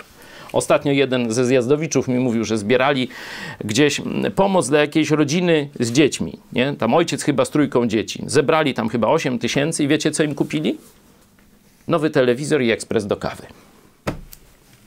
Towary pierwszej potrzeby. Dokładnie. No to to jest właśnie... Jak żyć No, bez telewizora? no nie, nie, nie można. E, Zanim połączymy się z naszym gościem, może teraz troszkę bardziej pozytywne informacje. E, Energetyka24.pl e, podaje dwa, dwie informacje na temat Nord, na gazociągu, rurociągu w ogóle Nord Stream 2. Pierwszy to jest, że coraz bliżej sankcji USA na Nord Stream 2. Amerykańska gazeta The Wall Street Journal poinformowała, że w USA trwają prace nad wprowadzeniem sankcji. Wciąż jednak nie wiadomo, czy zapadła decyzja. I tu jest cytat. Jeśli chcecie, żebyśmy was chronili przed bestią, to dlaczego ją karmicie? Tak miał podsumować Oż amerykańską politykę informator gazety. To powiedział przecież Donald Trump Makreli. Dokładnie to powiedział, że przecież ty niszczysz Niemcy, uzależniając je e, energetycznie od kacapów. Sankcje miałyby objąć europejskie firmy współfinansujące projekt oraz spółki zaangażowane w prace budowlane. Także tu mamy informacje z USA, a z kolei e, mamy też informacje, niestety nie z Polski, chociaż Polska gdzieś tam troszkę tutaj też brała w tym udział, ale z Danii. Jak Dania się e, zamierza przeciwstawić, Dania przechodzi, to jest drugi artykuł, Dania przechodzi do ofensywy w sprawie Nord Stream 2. Możliwe nawet trzyletnie opóźnienie, czyli tutaj widać, że no. Europejczycy nie chcą tego zablokować, jedyne co mogą zrobić to Bo- gdzieś tam Boją się, bo tutaj Dania, no to przecież... No, Polska w ogóle nie ma- próbuje, no. Małe państwo przy, gdzieś przy wielkich Niemczech, nie? Także e, tu oni grają na zwłokę, patrzą jak się rozwinie sytuacja, ale przynajmniej coś robią. No właśnie. E, Jest też wątek polski, tak powiedziałem. Uregulowanie spornej e, szarej strefy pomiędzy Polską a Danią otworzyło możliwość poważnego opóźnienia budowy Nord Stream 2. Źródła w Kopenhadze donoszą, że rząd chce wykorzystać tą szansę. Dotychczas Dania nie wyraziła zgody na budowę gazociągu w obu wariantach przedłożonych przez inwestora. Pierwszy z nich zakładał przebieg Nord Stream przez duńskie wody terytorialne na południe od Bornholmu. W tej kwestii Dania ma prawo zablokować projekt. Alternatywny wariant gazociągu przebiega na północ od Bornholmu Sztokholmu w duńskiej wyłącznej strefie terytorialnej. W tym przypadku Dania nie może zablokować budowy, ale z uwagi na przebieg przez obszar Natura 2000 Duńczycy mogli, ne, mogliby negatywnie oddziaływać na projekt za pośrednictwem instytucji europejskich. Uregulowanie szarej strefy, czyli tu chodzi o ten obszar, obszar sporny pomiędzy e, Polską i Danią. A Danią, e, spornego obszaru Bałtyku o powierzchni e, około 3600 km2 i wyznaczenie dokładnego przebiegu polskiej i duńskiej wyłącznej strefy ekonomicznej otworzyło drogę do wniosku o przedstawienie trzeciego wariantu przebiegu gazociągu, co mogłoby znacząco opóźnić jego realizację, bo teraz Rosjanie muszą e, przeprowadzić Wszystkie całą analizę, projekt tego tak, trzeciego tu, tu, tu, tak. e, wariantu, no i na to liczą, że będzie to trochę trwało. Jak ty oceniasz, e, no można powiedzieć taka, ja jak to czytam, no to rysuje mi się taka mentalność, jakaś kompletnie mm, bezbronność, czy niewolniczy stosunek do tej Rosji. No nie możemy e, w ogóle walnąć pięścią w stół, powiedzieć, że my się na to nie zgadzamy, tylko będziemy coś tu, tu naturą 2000 wojować, tutaj jakimś trzecim, tam To nie są wiem. takie środki zastępcze, można tak powiedzieć. Moim, e, e, moją oceną sytuacji jest to, że tutaj wrogiem jest nie Rosja. Oczywiście, znaczy, można tak powiedzieć, to, że Rosja jest wrogiem, to jest oczywiste dla każdego polskiego dziecka od mniej więcej tysiąca lat, nie? Już teraz nie. No tak, to ty jesteś z innego pokolenia już trochę. Czyli w moim jeszcze tak, ale No. już w tych młodszych to już Ale- nie jest to oczywiste. Przecież zobaczcie, kto buduje te, to niszczące dla Europy, dla Polski, dla Ukrainy e, połączenie? Rosja tak, ale Niemcy. Niemcy. Tu trzeba presję na Niemcy wywierać i stąd właśnie to, o czym mówimy bardzo mocno, petycja do prezydenta Trumpa o pomoc w uzyskaniu reparacji wojennych od Niemiec i Rosji. Oczywiście w pierwszym rzędzie od Niemiec. Nie? Tu mam ulotkę, można sobie ją pobrać, Za zachęcać. parę minut też zobaczycie Państwo nasz materiał, e, Zachęcać który ludzi zachęca do podpisywania, do, do podpisywania bo tu właśnie zapomina się. No dobra, blokujemy tu za pomocą jakichś tam królików, y, fików, mików, y, wiesz, Natura euro, 2000. natura, srutu, tu, tu. Niemcom trzeba za mordę wziąć, albo kończycie i Trump właśnie to robi, bo to Trump tak gada z Niemcami jak należy. Polska siedzi cicho. Polska Nawet powie- Dania coś robi w tak, tej sprawie. Polska powinna powiedzieć, chcecie dobrych stosunków z Polską? Natychmiast przerywajcie tę budowę. Co Polska powiedziała? Nic. To jest niemiecki rząd na Polskę i tyle. Poproszę- Liczą tylko, że Trump, wiecie, to udaremni. Nie? I to jest rzeczywiście, nie mając rządu w Warszawie, to jest już politycznie jedyna nadzieja Polaków, że nie znajdziemy się w, w Euroazji. Że to właśnie prezydent Trump zablokuje i zresztą Amerykanie w tej pierwszej wiadomości pozytywnej, o której mówiłeś, już e, chcą to zrobić na twardo. To kolejne straszenie Polski, tym razem przez Chińczyków. Nie tylko Polskę, ale też e, podobnie Wielką też e, straszą Chińczycy. To jest artykuł z businessinsider.com.pl pod tytułem Polska może stracić około 10 miliardów dolarów, jeśli zablokuje Huawei. Ambasador Chin tak mówi w wywiadzie. Chin, e, chiński dziennik Global Times opublikował 11 marca, czyli wczoraj, wywiad z ambasadorem Chińskiej Republiki Ludowej w Polsce Liu Guangganem. No jakoś tam. Jakoś no. tak, no. Huawei. Pojawiło się w nim oszacowanie potencjalnych kosztów, które Polska poniesie, jeśli zdecyduje się na odejście od dotychczasowej współpracy z firmą Huawei. Twierdzi, iż po wykluczeniu chińskiego koncernu z prac na rozwojem, y, nad rozwojem infrastruktury łączności 5G w Polsce nasz kraj straci 2 do 3 lat postępu technologicznego. Strasznie straci, no na pewno, już to widzę. Z ust ambasadora pada także ważna deklaracja odnośnie potencjalnych strat, jakie Warszawa Słuchajcie, może jak- ponieść. Jak komunista mówi, to kłamie, czyli trzeba wszystko na wspak czytać. Czyli Tak. jeśli zbudujemy chińskie, e, na chińskich podzespołach i przez chińskie firmy sieć 5G, to znaczy, że Polska straci, no tylko wielokrotność jest większa. Czyli, czyli może to nie być tylko tam 5 czy 10 miliardów, ale może też niepodległość stracić. Tutaj oni mówią o 9, Całkiem. że polska gospodarka straci na takim kroku nawet do 10 miliardów dolarów, dolarów, a sektor telekomunikacyjny nawet dwukrotnie więcej. Też jest ciekawa Na informacja. wspak wszystko czytajcie i będzie prawda. Ciekawa wtedy. informacja odnośnie ilości tych pracowników. Ambasador Liu, w Huawei. Ambasador Liu podkreśla, że Huawei zatrudnia w Polsce ponad 900 pracowników, z czego 2 trzecie to kadra lokalna, czyli 1 trzecia, rozumiem, chińska, czyli 300 chińs, chińskich pracowników, z tego, tak jak już wiemy, część z nich nie wiemy jaka, niewielka, ale możemy się spodziewać, że pewnie dosyć duża, to chińscy agenci w No Warszawie. nie, nie, nie, nie, nie, nie, nie, nie.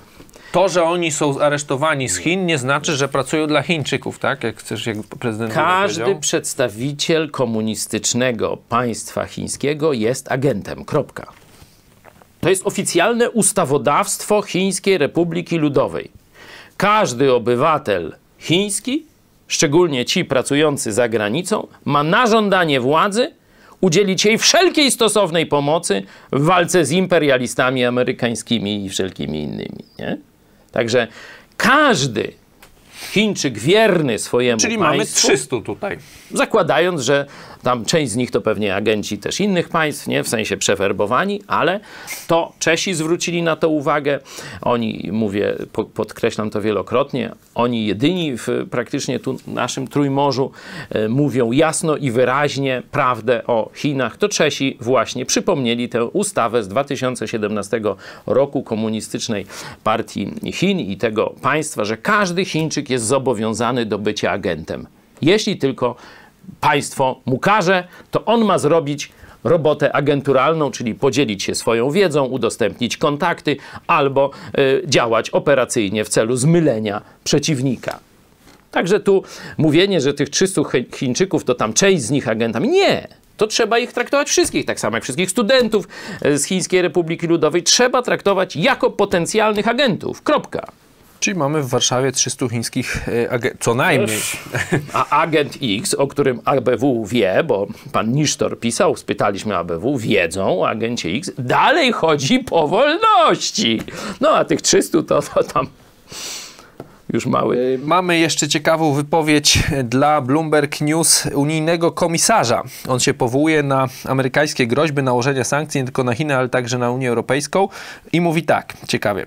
Mamy problem. Chiny zalewają rynek. Chiny wspierają swój przemysł. A to tworzy światowe nierówności. Możemy się co do tego zgodzić. Jakie jest zatem rozwiązanie? Cóż, naszym zdaniem jest nim współpraca z Chinami. No tak, no, że mamy Chiny, problem z tymi Chiny Chinami? kradną, dajmy im ukraść więcej. to taki jest komunikat, tak trzeba to odczytać. Ja słuchałem e, wystąpienia dla BBC szefa tego, kto go tam wie e, i on naprawdę w takich, bo tam to jego córkę aresztowali, wiecie, w Kanadzie, tam ekstradycja do Stanów, do Stanów. Zjednoczonych, różne te rzeczy i on naprawdę w takim tonie pogardy dla świata zachodniego mówił, że i tak nas nie powstrzymacie, tu możecie próbować, no my tam, jak tu na północy nas zatrzymacie, my pójdziemy na i takie różne kucypały opowiada, ale widać, że ci komuniści chińscy już uważają się za zwycięzców. Już uważają, że świat zachodni jest pokonany. Bardzo w podobnym tonie wypowiadał się Alex Newman u nas, nasz stały korespondent z USA, że rzeczywiście wypowiedzi globalistów zarówno na tym szczycie klimatycznym, czyli zlocie czarownic w Katowicach, jak na innych tych globalistycznych zlotach, tam już są triumfalistyczne, takie w takim tonie zwycięskim, deklaracje, że już globalny świat mamy. To jest kwestia tylko, kiedy go ogłosimy. Nie? Tu pytanie, co zrobi Donald Trump? Czy on się potrafi temu globalnemu spiskowi przeciwstawić, czy nie? To jest najważniejsze pytanie dziś dla świata w kwestii polityki. Niestety nie zadajemy pytania, co zrobi polski rząd, bo wiemy, że... Polska nie ma rządu, Polska ma przydupasów, a nie rząd. Poprosimy teraz e, o nasz materiał, chwilę przerwy i e, zapraszamy na materiał zachęcający do podpisania petycji do Donalda Trumpa w sprawie reparacji od Niemiec i od Rosji, a potem, tak jak już powiedziałem, połączenie z naszym e, korespondentem z Izraela.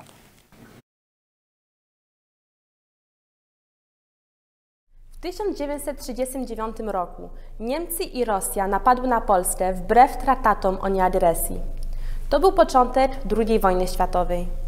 Straty poniesione przez naród polski wynikające z działań wojennych, rabunków i konfiskaty majątków przez okupanta, eksploatacji gospodarczej i niewolniczej pracy ludności to blisko 40% stanu majątku narodowego sprzed 1939 roku.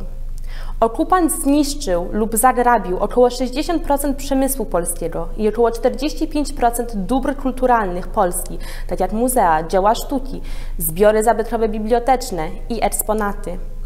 Największych zniszczeń doznała stolica Polski Warszawa, gdzie około 90% infrastruktury, przemysłu, zabudowy mieszkalnej oraz dóbr kultury narodowej i zabytków przestało istnieć.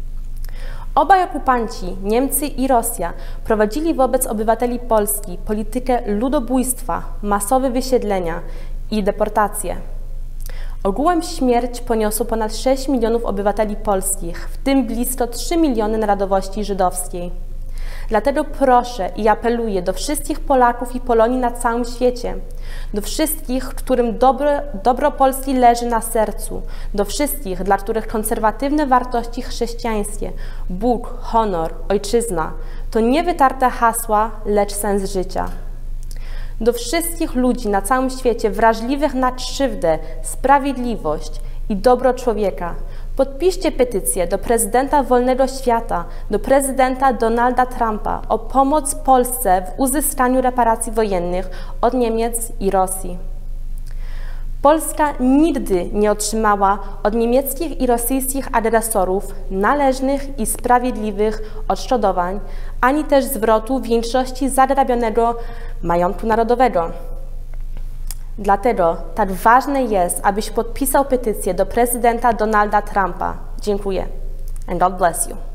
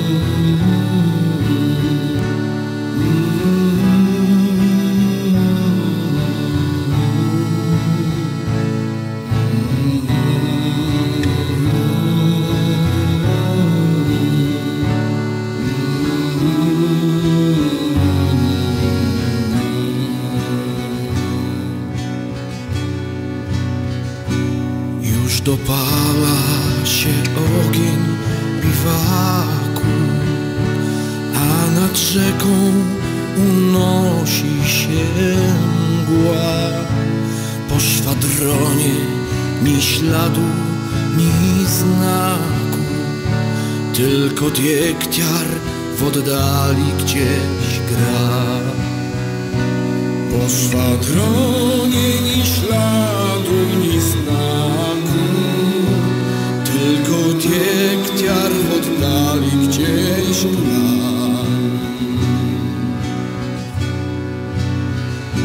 Tylko słychać gdzieś bardzo daleko. Jęk szrapneli unosi się wzwyż za urwiskiem tam wije się rzeka, a za rzeką mogiła i krzyż. Za urwiskiem tam wije się rzeka, a za rzeką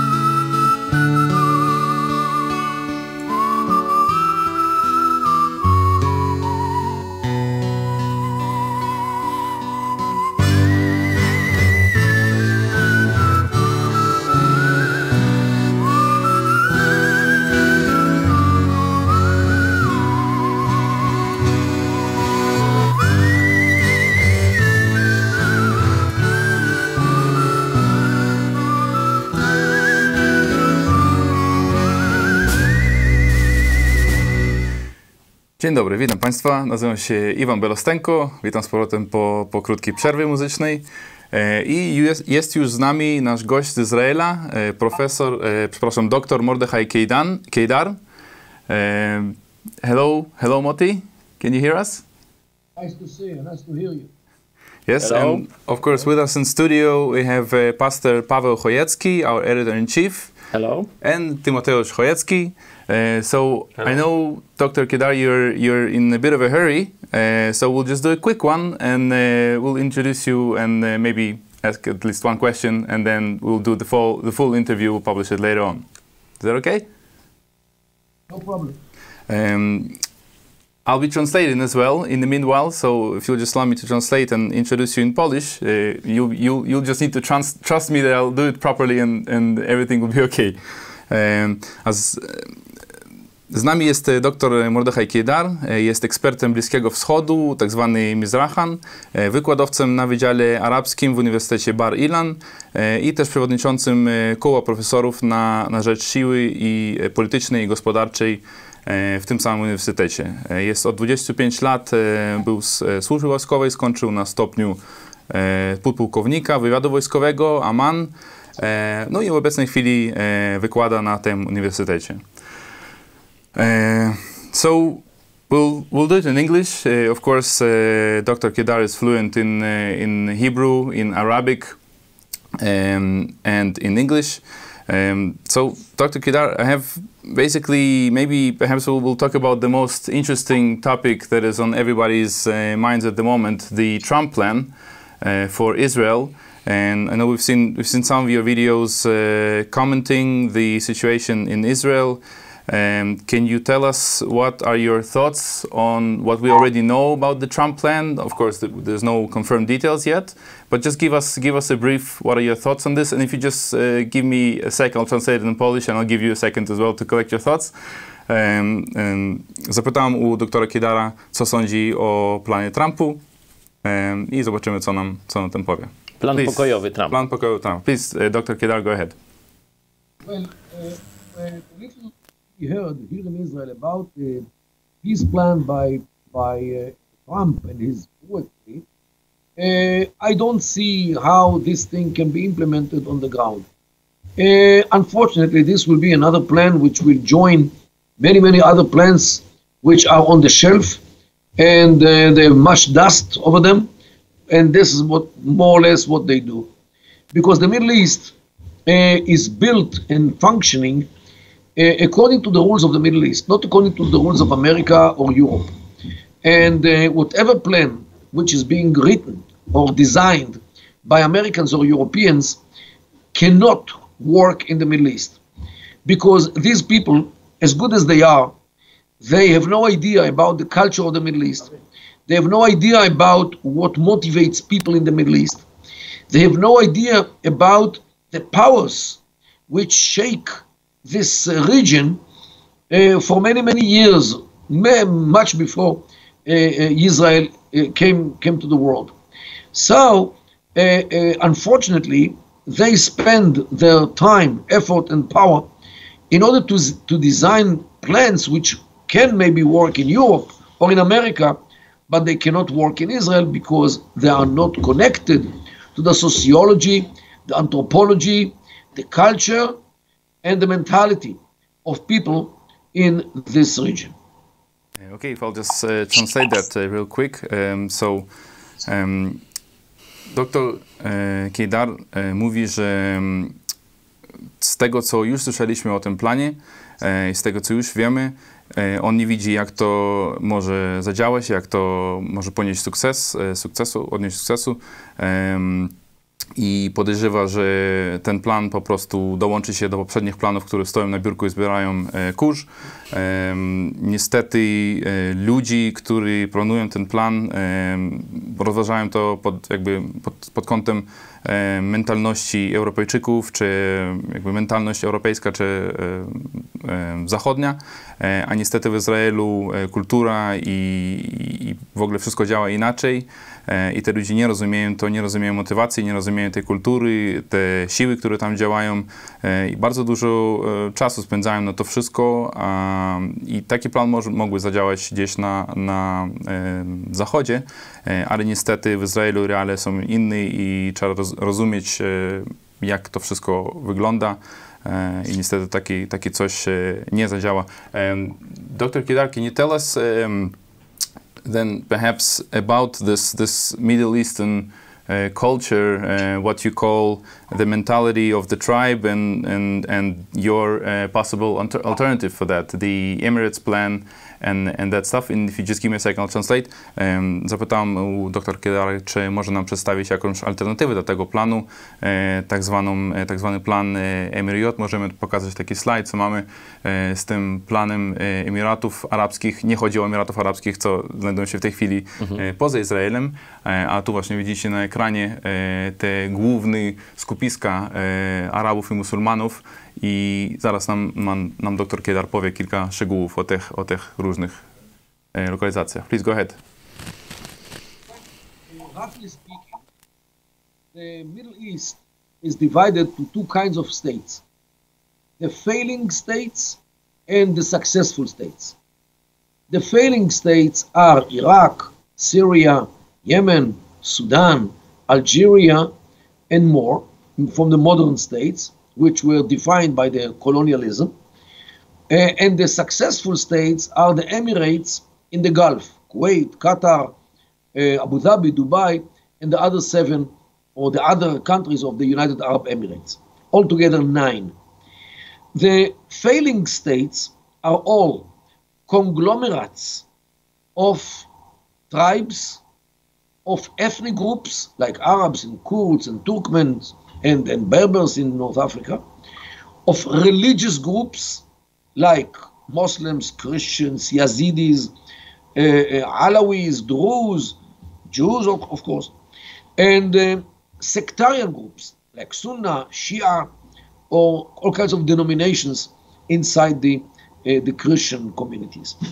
And the modern state, which was created uh, less than 100 years ago, um, tried all the time to push aside the loyalty of the people to the tribe, to the ethnic group, to the religious and the sectarian group, in a way which everybody will define himself only by the modern state, like Iraq or Syria or, or Sudan or Libya, and will abandon and leave altogether the traditional uh, uh, uh, loyalties to the tribe, to the ethnic group, to the religious and the sectarian group. This is what the British and the French and the others hoped that this is what will be in the Middle East. Unfortunately, it didn't happen. In spite of the fact that there is a state with a with an anthem, with a flag, with ministries and, and, and army and police, the state, the modern Arab state, failed in replacing the traditional old loyalties. And this is why these countries are failure. Because there is no Iraqi nation, there is no Syrian nation, there is no Sudani nation, there is no Algerian nation, and no Yemenite nation. They are all tribes which never were galvanized to shape one ethnic group. On the other side, we see uh, the Emirates. Every one of them is homogeneous. One, one single uh, group, which are like more or less one tribe. In Kuwait, it's Al Sabah, is the name uh, of this tribe. In Qatar, it's Al Thani. In uh, Abu Dhabi, it's Al Nihyan, and so forth. Everyone has Al. Al means a, a family, a big family. And uh, they are homogeneous society. This is why this is stable society, and the political arena is stable. And on this, you can build economy, which will be, which will make the country into a heaven, even without oil, like uh, like Dubai. On the other side, in Iraq and uh, Syria, the artificial states, which are not built on one group, uh, groups are fighting each other. Arabs are fighting Kurds, and tribes are fighting with each other, and Muslims fight against other religions. So the country actually cannot bind everybody to act like normal people or normal states, like Poland and many other states. And this is why these states are failing. And this is actually, uh, I would say, a, a, small and short introductory to the modern Arab world. States which were built on homogeneous group are stable, with oil like Abu Dhabi or without oil like, uh, like Dubai, while uh, the conglomerates of tribes, ethnic groups, religious and sectarian groups are failing states with oil like Iraq and Libya or without oil like Algeria. So this is actually what I'm saying.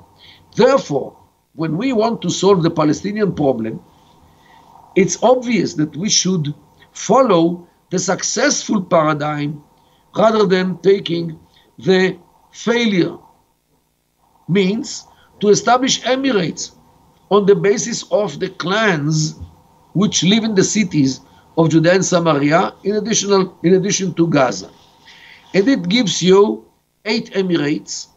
Uh, in the Gulf it's all it's seven. Now it will be eight emirates here, based on the local families or local clans who are there forever. Um, the Palestinian Authority, as a modern artificial state, is viewed as illegitimate by the majority of the people in Judea and Samaria and, and Gaza.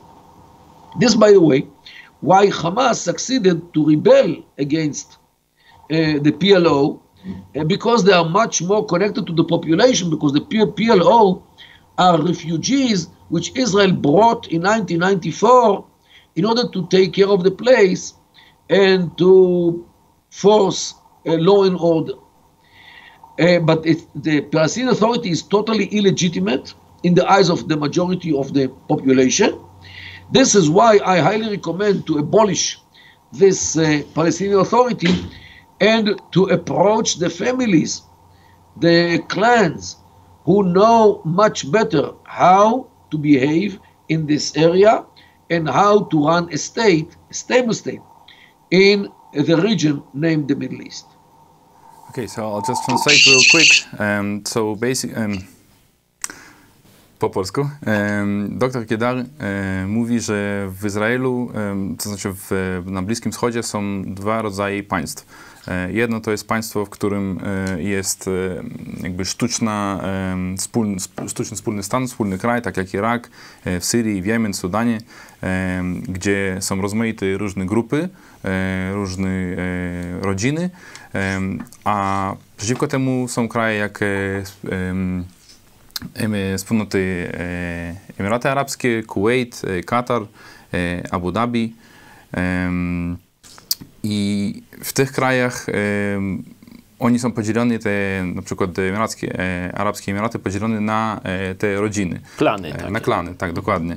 E, I w tych grupach, e, gdzie są sztuczne podziały, które były zaproponowane przez, e, przez Czasy kolonialne jeszcze. kolonialny, tak, to tam oni nie funkcjonują, bo tam jest wewnętrzne jakby konflikty i te, te państwa upadają, oni nie są, jakby nie ma tam prosperyty. Nie są stabilne. Nie są stabilne, tak. Natomiast te drugie plany, te, te, drugie państwa, które zbudowane na, na tych właśnie rodzinach, mimo tego, że nawet nie mają tego oleju, nie mają tej ropy, e, to są stabilne i tam jest prosperyta, dlatego, że tam jest jedna rodzina, który, jeden klan, który dba o jakby o zarządzanie tym. Zrobimy trochę tylko przerwę. E, Dr. Kedar, if you, if you have to go, we'll just finish up here maybe, and uh, I'll continue translating it, and then we'll, we'll, we'll follow up later and we'll do the full interview, because I know you're, you're cautious of your time. E, So, em, był z nami, za chwilę tylko skończę to tłumaczyć, pożegnam się tylko z gościem, był z nami dr Kejdar, doktor z Uniwersytetu Bar Ilan i w, podejrzewam, że w kilka dni udostępnimy ten cały wywiad na naszym kanale. No, myślę, że będzie ciekawy. Thank you very much, e, Dr. Kedar, and uh, we'll talk to you soon. Tylko skończę tłumaczyć to, co nasz gość powiedział, e, że w, znów wracając do właśnie tych, tych podziałów, że e, Zachód e, patrzy na te granice nie pod kątem różnych rodzin czy różnych klanów, a pod kątem tych sztucznych podziałów e, terytorialnych. E, I niestety to, to nie działa, dlatego że tam są te wewnętrzne konflikty. Natomiast e, co dr Kidar proponuje, to żeby podzielić, jeżeli chodzi konkretnie o Izrael, żeby podzielić te, e, te części, te terytorii w- Palestyny.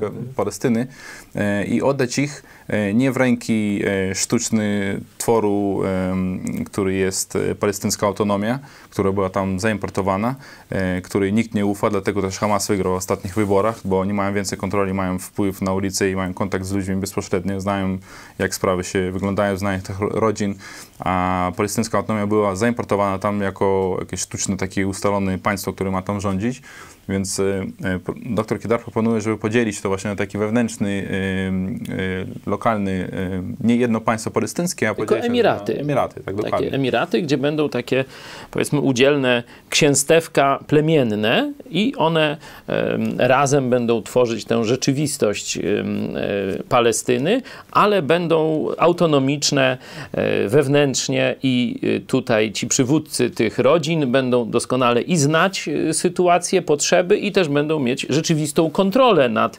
e, tymi ludźmi, a nie taką hipotetyczną kontrolę, jak e, ta autonomia palestyńska dzisiaj. Nie? To też pokazuje ten film Fauda, dość, e, to jest taki serial, który razem oglądaliśmy. Bardzo go polecamy. Tam pokazuje właśnie, że co innego jest ta policja palestyńska, a co innego są te grupy terrorystyczne, Hamas, czy ten świat różnych rodzin, szejków i tak dalej, że oni się nawet nawzajem e, zwalczają i że rzeczywiście ta władza tej policji palestyńskiej jest czysto hipotetyczna. Em, No, więc tak to wygląda. E, Zrobimy szerszy wywiad e, z doktorem Kejdarem e, później dziś. Mam nadzieję, że za kilka dni opublikujemy całość, bo będę musiał to niestety tłumaczyć z hebrajskiego. To trochę potrwa. Tu widzimy go, jak wystąpił, to nie ten slajd, następny. On występuje dlatego, że zna arabski w, w mediach arabskich. To jest na przykład z Al Jazeera. Bardzo taki nieprzyjemny gość go tam przeprowadza z nim wywiad. Robił on tam pułapki, ale e, doktor Wybrnął? Tak, wybrnął bardzo dobrze i tak dobrze, że go już więcej nie zaprosili przez kilka lat. No to tak jak unikę telewizji publicznej u Rachonia. Później minęło, minęło dużo, dużo lat i tam już był ten przenoszenie tej ambasady do Jerozolimy. Po, pokazali go jeszcze raz, wystąpił e, z, z takim szejchem. E, no i tam też jego bardzo mocno, mocno po nim pojechał, że także nie było e, co sprzątać. Więc mam nadzieję, że nie- niebawem już pojawi się ten, ten wywiad e, z doktorem i myślę, że będzie ciekawy. No a to na razie bardzo krótko mieliśmy przedstawienie jednej z wersji uregulowania sytuacji e, w Izraelu. No, wygląda to ciekawe. Rzeczywiście, tak jak y, ty byłeś na e, praktyce w jednym z uniwersytetów, to widziałeś, że w Izraelu sporo, e, spora, Konferencji. na konferencji, przepraszam, e, naukowej, e, spora część Arabów całkowicie, że tak powiem, wkomponowuje, wkomponuje się, komponuje się z państwem izraelskim, pracują tam, zarabiają i wcale nie chcą likwidacji tego państwa, które często daje im dobrobyt, y, pracę i życie w bezpiecznym w miarę świecie. No, szczególnie, że tam, szczególnie właśnie w Jerozolimie, no to tam nie ma. y, ta arabska część jest jakby bez granicy. Tam przechodzisz, y, nie ma jakiegoś przejścia granicznego w, W samym mieście w mówisz. samym mieście, tak. Także to tam y, taksówkarze to głównie są Arabowie. Y, Także rzeczywiście jest na przykład w, y, właśnie w sobotę, w ten ich sabat, y, no to tylko taksówki Arabskie arabskie, funkcjonują, czy jedzenie w hotelach pracownicy też tylko arabscy wtedy są dostępni, no bo Żydzi nie pracują wtedy, także Czyli jest jakaś symbioza tu się rozwija. Także Tak ten, samo- ten plan by mógł się e, powieść, tylko obawiam się, że na przykład Rosja, która z drugiej strony jest częścią, e, można powiedzieć, tego konfliktu, e, absolutnie nie będzie chciała e, tego, żeby Żydzi dogadali się właśnie z tymi rodzinami arabskimi i Rosja będzie forsować to państwo palestyńskie, którym łatwo sterować. Ono jest niewydolne, e, ono mm, polega na zagranicznych funduszach, czyli przekupstwo tu tych przywódców politycznych, ich słabiutka władza, także praktycznie Oni nie płacą podatków w tej no Palestynie. tak, to, to wiadomo, że to Państwo są takie utrzymuje się quasi, właśnie z, znaczy quasi państwo, tam, Palestyna się państwa. utrzymuje właśnie z datków. A gdyby rzeczywiście ten pomysł, no tak jak pierwszy raz słyszę go tak w takiej bardziej szczegółowej wersji, ten, to uzasadnienie, bo słyszałem ten pomysł, ale to uzasadnienie, że rzeczywiście państwa arabskie można podzielić na te prosperujące i upadające. I te prosperujące są e, takie właśnie z, związane z, z taką starą etniczną kulturą plemienną, no i oni się tam już nie wyżynają między sobą albo tam przy, nie, na na, na, niewielką, i- na, na niewielką skalę, a tak zajmują się tam jakąś pracą, życiem rodzinnym i tak dalej i tam w miarę jest spokój, tam zresztą e, także Europejczycy przyjeżdżają, pracują i, i nawet się dość dobrze mają, nie? O tym właśnie, o Rosji i, i tych innych e, rzeczach zapytamy na, na tym całym wywiadzie, bo mam to już zaznaczone, to ciekawy e, ten Tak, ciekawy ciekaw wątek. jestem właśnie, co e, nasz gość, doktor, powie o roli Rosji w tych e, całych e, konfliktach. 25 lat e, w wywiadzie wojskowym, to pewnie coś tam Coś wyknął. powinien, coś powinien wiedzieć.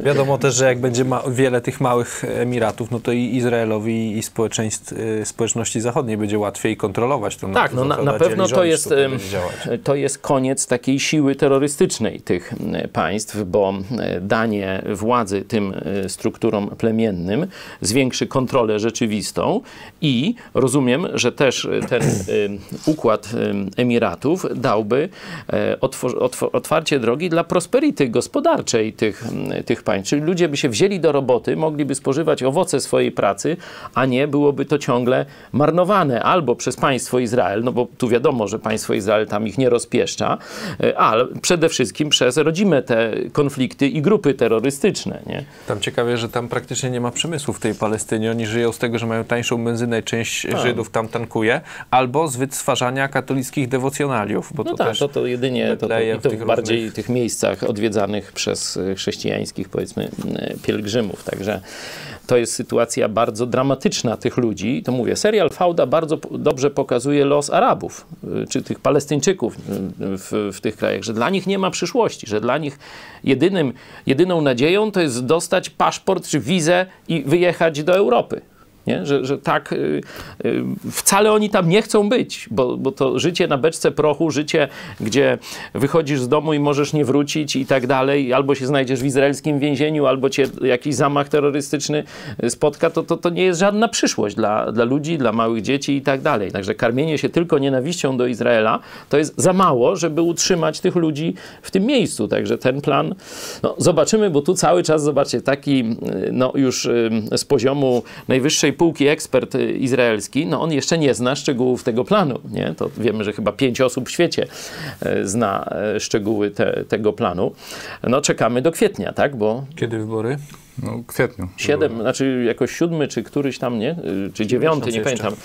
No jeszcze miesiąc, no później pewnie tam jakaś konstytuowanie się rządu i tak dalej. Spodziewam się, że jakieś pierwsze szczegóły tego planu poznamy pod koniec, pod koniec kwietnia. Tu już jest też, też taka ciekawa rzecz, że em, on mówi, że em, Gaza musi być uznana już de facto jako, jako państwo, nie? I wszystko, co z tym się wiąże, że nie Izrael już będzie im płacił te e, sponsorowanie tej, tej autonomii palestyńskiej, a niech tam, niech tam rządzi ta, ta rodzina i niech z tego też rozliczają się, nie? Mówi, że można nałożyć tam pewne e, jakby bezpieczeństwo na ich nie tam port. Może na początku nie dawać im w ogóle portu, nie, i tak dalej, ale to, że to państwo podtrzymuje się z pieniędzy e, Izraela, co mimo, mimo tego, że oczywiście tam dużo z tego pieniędzy idzie z powrotem do Izraela, nie? Em, no, ale on właśnie proponuje, żeby uznać już, że, że są już państwem i niech tam, niech funkcjonują jako państwo i też niech z, z nich e, jakby Odpowiedzialność, żeby na nich i nie będą już zganiać, y, że to wszystko to Żydy, panie, nie? No to tak jak u nas w Polsce wszystkie nasze niemoce, wszystkie nasze klęski, no to dzisiaj są e, w ten sposób kwitowane i to jest bardzo wygodne dla zarówno władzy, która ma w tym momencie swobodę nic nie robienia dla Polski, no i e, jest niestety takim wygodnym, wygodną wymówką, że Polacy nie organizują się po to, żeby odnieść sukces. No to podobnie e, w tych strefach palestyńskich. Nie? że wszystko to wina Żydów i już. No. Zapytam też u doktora, czy on zauważył jakieś e, e, różnice pomiędzy tymi gru, grupami etycznymi, e, etycznymi, szczególnie chrześcijan i, i niechrześcijan, muzułmanów, czy może tam jakichś tam Kurdów, czy innych grup, czy zauważył, bo on mówi, że właśnie oni nie są gotowi na, na koncept państwa, e, no to jestem ciekaw, czy, czy zauważył jakąś różnicę, bo on ma bezpośredni kontakt z Arabami i tam w- nawet idzie tam do tych dzielnic i jego tam znają, no to jestem ciekaw, co powie. Bo wiem, że w Haifie jest duża różnica, bo istnieją jakoś tam razem te, te Araby musulmanie i, i Żydzi i nawet można tam sobie na gołąkę pójść na, wieczorem w szabat. No, Jakoś to funkcjonuje. Em, Wspólnota e, chrześcijan, e, mesjanistycznych Żydów jest prosto na tej, jest taka aleja, co schodzi tam z tych Bahajów, nie? Jest taki, em, takie te parki bahajskie, co idą tam, tam góry, góry Karmel i na samym dole jest taka aleja, nazywa się niemiecka, tak? No i tam na, sam, na samej tej alei niemieckiej, prosto z głównej ulicy, wywieszone jakby e, te, wszystko publiczne, idziesz po ulicy, zobaczysz, o, dom mesjanistycznych Żydów na dzielnicy arabskiej i jakoś tam nie... nie wysadzają nic, się. nic, tak. nic Mogą nie żyć dzieje. koło siebie Tak. jakoś. Mhm. Więc jestem ciekaw, co, co nam e, pan doktor powie na ten temat. Czyli wywiadu możemy się spodziewać, jak powiedziałeś, gdzieś koło środy czwartku, tak? E, no, postaram się jak najszybciej, bo to jeszcze nie wiem, ile, ile to wyjdzie, bo, bo dopiero, dopiero co połączyliśmy Ile się będzie nagrane? Myślę, że tak 20, 20 minut, 30 co najmniej i to trochę, trochę potrwa na to tłumaczenie.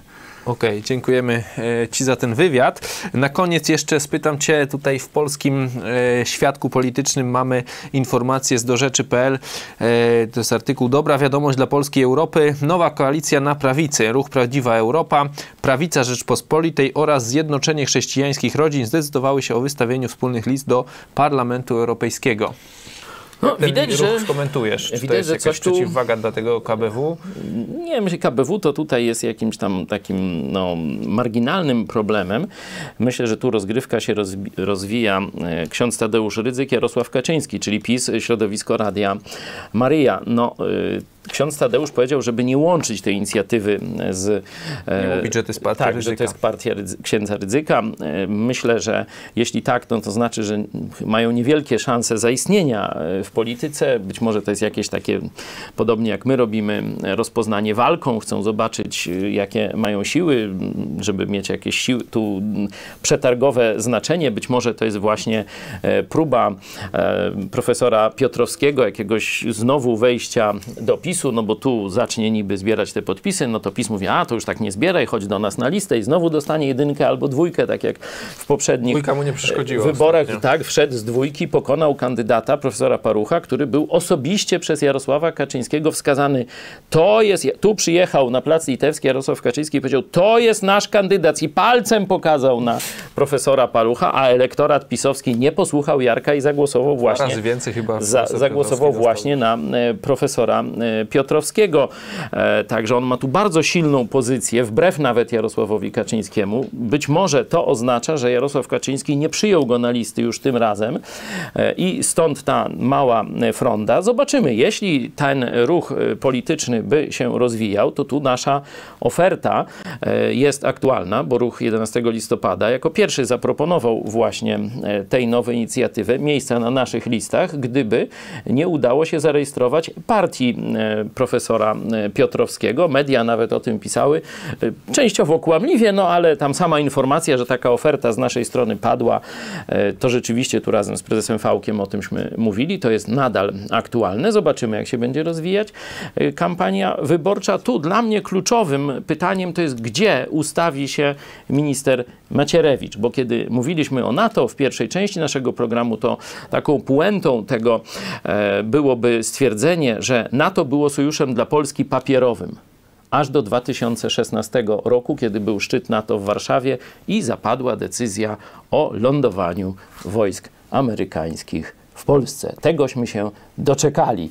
Jak to, czy z Hubala, czy już z można by powiedzieć. Wojska amerykańskie w Polsce wreszcie wylądowały. I tu ogromna zasługa dla ministra Macierewicza, niezależnie od jego różnych błędów, od temu, tego, co mu zarzucamy. No to w podręcznikach historii powinno być jasno napisane. To minister Macierewicz doprowadził osobiście do tego, że dzisiaj w Polsce stacjonują wojska amerykańskie chroniące nas przed Niemcami i Rosją. A w Polsce e, powiedziałeś tak, jak powinno być, a tymczasem, tak jak już mówiłeś e, na Der Onet, dzisiaj artykuł, A, że tak, szkalują, jakiś tam generał ministra, służb mówi, że to e, tak, cała szkalują wina ministra Macierewicza. Macierewicz. Dlatego dla mnie wielką ciekawostką, wiel, wielkim pytaniem jest w tej lokalnej polityce polskiej, gdzie ustawi się No tylko pytanie, czy on w ogóle Macierewicz. musi się jakoś ustawiać, bo on nie będzie startował, podejrzewam, do Parlamentu Europejskiego, może nie zabierać głosu w Y, ogóle. Oczywiście w, być może w tych wyborach nie nastąpi tu jakiś ruch y, ministra Macierewicza, ale w dalszej perspektywie istnienia takiej konkurencyjnej dla PiSu e, chrześcijańskiej, prawicowej e, formacji, no to decydujące będzie zdanie, tak jak powiedzieliśmy, księdza Tadeusza Rydzyka i ministra Macierewicza. Zobaczymy, czy ruch 11 listopada doczeka się po stronie katolickiej godnego partnera. Na to czekamy. A my przejdziemy już e, do ogłoszeń. Zapraszamy Was do naszego internetowego sklepiku na idźpodprat.pl po nowości. Po pierwsze, najnowszy numer Idź Pod Prąd. Tak, proszę prezentować. bardzo. Koszulki z motywem kobieta wyzwolona.pl. Wczoraj były prezentowane na zjeździe. Tutaj macie je teraz. Koszulki damskie i męskie. Kogo słuchasz, Kler czy Biblia? Z motywem z naszego e, poprzedniego billboardu. I książka Listy Starego Diabła do Młodego. A także ulotki wyborcze partii Ruch 11 listopada. Płacicie jedynie za wysyłkę. Tutaj mamy te ulotki. Tu nasz program w takiej formie skrótowej na stronie internetowej. Niebawem znajdzie się rozwinięta wersja tego e, programu, ale ci już, którzy widzą, szczególnie przedsiębiorcy drobni, widzą ten program, mówi, no to, to idealna sprawa, to dla nas. Mamy jeszcze, e, przerwiemy na chwilę ogłoszenia, e, informacje od redaktora Cezarego Kłosowicza. Konferencja Episkopatu Polski zajmie w czwartek stanowisko w sprawie podpisanej przez prezydenta stolicy deklaracji LGBT+. Poinformował we wtorek przewodniczący e, tej komisji arcybiskup Stanisław Gondecki. Z kościołów kto ruszył pierwszy w tej sprawie? Tak samo jak w sprawie Unii Europejskiej, wtedy byliśmy pierwsi i jedyni mówiący prawdę, bo Kościół katolicki wtedy kłamał. Teraz y, już nasza, nasze dek, nasza deklaracja, oświadczenie Kościoła Nowego Przymierza w Lublinie jest od ponad tygodnia, zdaje się, na naszej stronie, rozesłane też do mediów. Oczywiście one solidarnie milczą, e, ale już wzięliśmy do galopu też kilku e, pastorów z innych kościołów chrześcijańskich. Oni do tej pory tak mówili, że nie należy się mieszać do polityki. Teraz już się mieszają, nawet wysyłają listy do wszystkich wójtów, do, do, do, aż do takiego poziomu zaangażowania politycznego doprowadziliśmy w Polsce, także cieszymy się bardzo, a teraz wzięliśmy też y, te, e, no to gremium, czyli konferencję Episkopatu Polski Ale do dzisiaj galopu. mówiliśmy, że papież Franciszek przyjmował Jak tam przyjął, no to oni, LGBT, oni na to pewno tak na pewno powiedzą, nie powiedzą wiecie, żeby, żeby nie było przeciw, coś powiedzą, że źle, ale dobrze i tak dalej, i tak dalej, ale zobaczymy, no czekamy. W czwartek, tak? Mamy za dwa dni. Yy, Na stronie ruchu 11 listopada yy, w zakładce Wybory 2019 dostępne są lista okręgów wyborczych i kontakty do poszczególnych koordynatorów miast, mapy okręgów i listy poparcia Komitetu Ruch 11 listopada do pobrania. Na naszej anglo-angielskiej stronie megachurch.pl jest już wpis Ręce precz od dzieci. Stanowisko Kościoła Nowego Przymierza w języku angielskim. Warto podać dalej. Link znajdziecie w opisie filmu. Prędzej napiszą o tym media e, za oceanem niż w Polsce. Przypominamy, że nasz kanał jest dostępny. e, Na naszym kanale jest dostępny bardzo ciekawy materiał. Sonda uliczna wśród Żydów. Kim jest największy żydowski przywódca? Sonda przeprowadzona przez izraelski portal syjonistycznych Żydów Medabrim. Nie wiem, czy dobrze czytam. Bardzo dobrze. Polecamy. Prawie jak. Po prostu flaga stoi. Po programie Pomyśl dziś pastora Chojeckiego temat jak nie dać się zaszczuć, a potem jeszcze e, dla tych wszystkich, którzy czekali na jakieś e, powiedzmy informacje czy filmiki z bronią, też jest e, film akurat żydowski wątek jak strzelamy z Uzi. Zobaczycie sobie pierwsze strzelanie z naszego Uzi. Także zapraszamy. Także dwa filmiki po programie. Ja dziękuję Państwu za uwagę. Moim i Państwa gościem był pastor Paweł Chojecki. Dziękuję, do zobaczenia o Redaktor 18. Iwan Belostenko. Dziękuję, do Dzięki. zobaczenia. Mieliśmy też doktora, jak Mordechaj Kedar. Mordechaj Kidaj, także będzie z nim też wywiad. E, Dziękujemy za uwagę i do zobaczenia o 18. Do zobaczenia.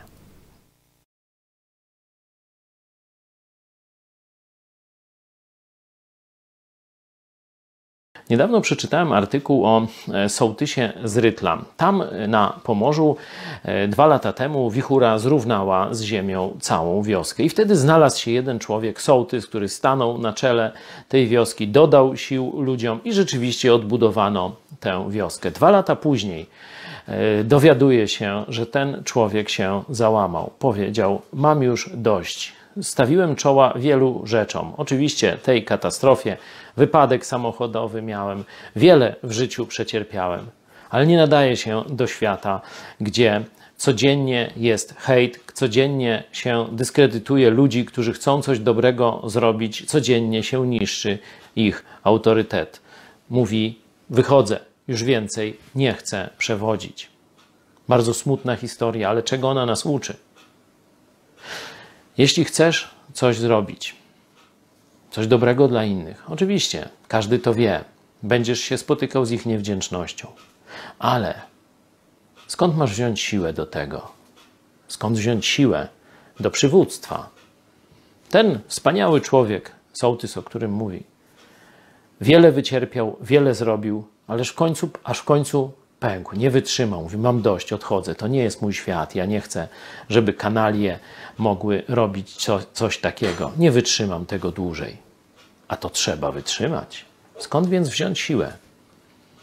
Jezus odpowiada: Ja jestem mocą, ja jestem Twoją siłą.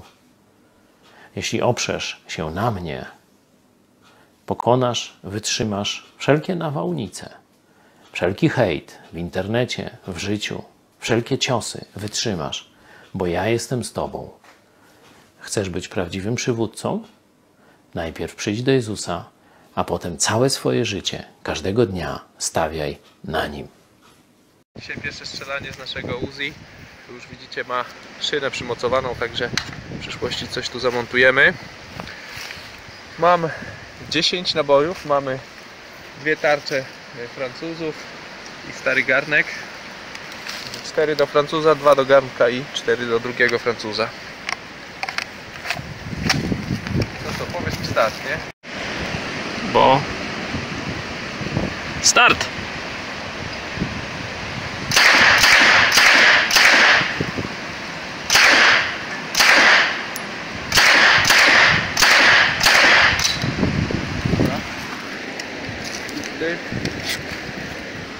Pusto. Idziemy zobaczyć. Jak wrażenia? Super, naprawdę. Nie ma podrzutu praktycznie. Troszkę może mało precyzyjnie przez tą dziurkę jest, ale przez ten przeziernik, ale zobaczymy jak będzie z kolimatorem.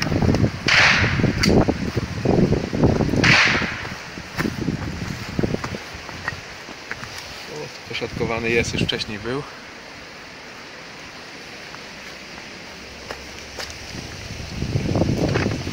Skupienie naprawdę imponujące. I jeszcze ten? Tak, o ten. Też był trochę w górę widać, bo jest chyba na 50 metrów. Do zobaczenia.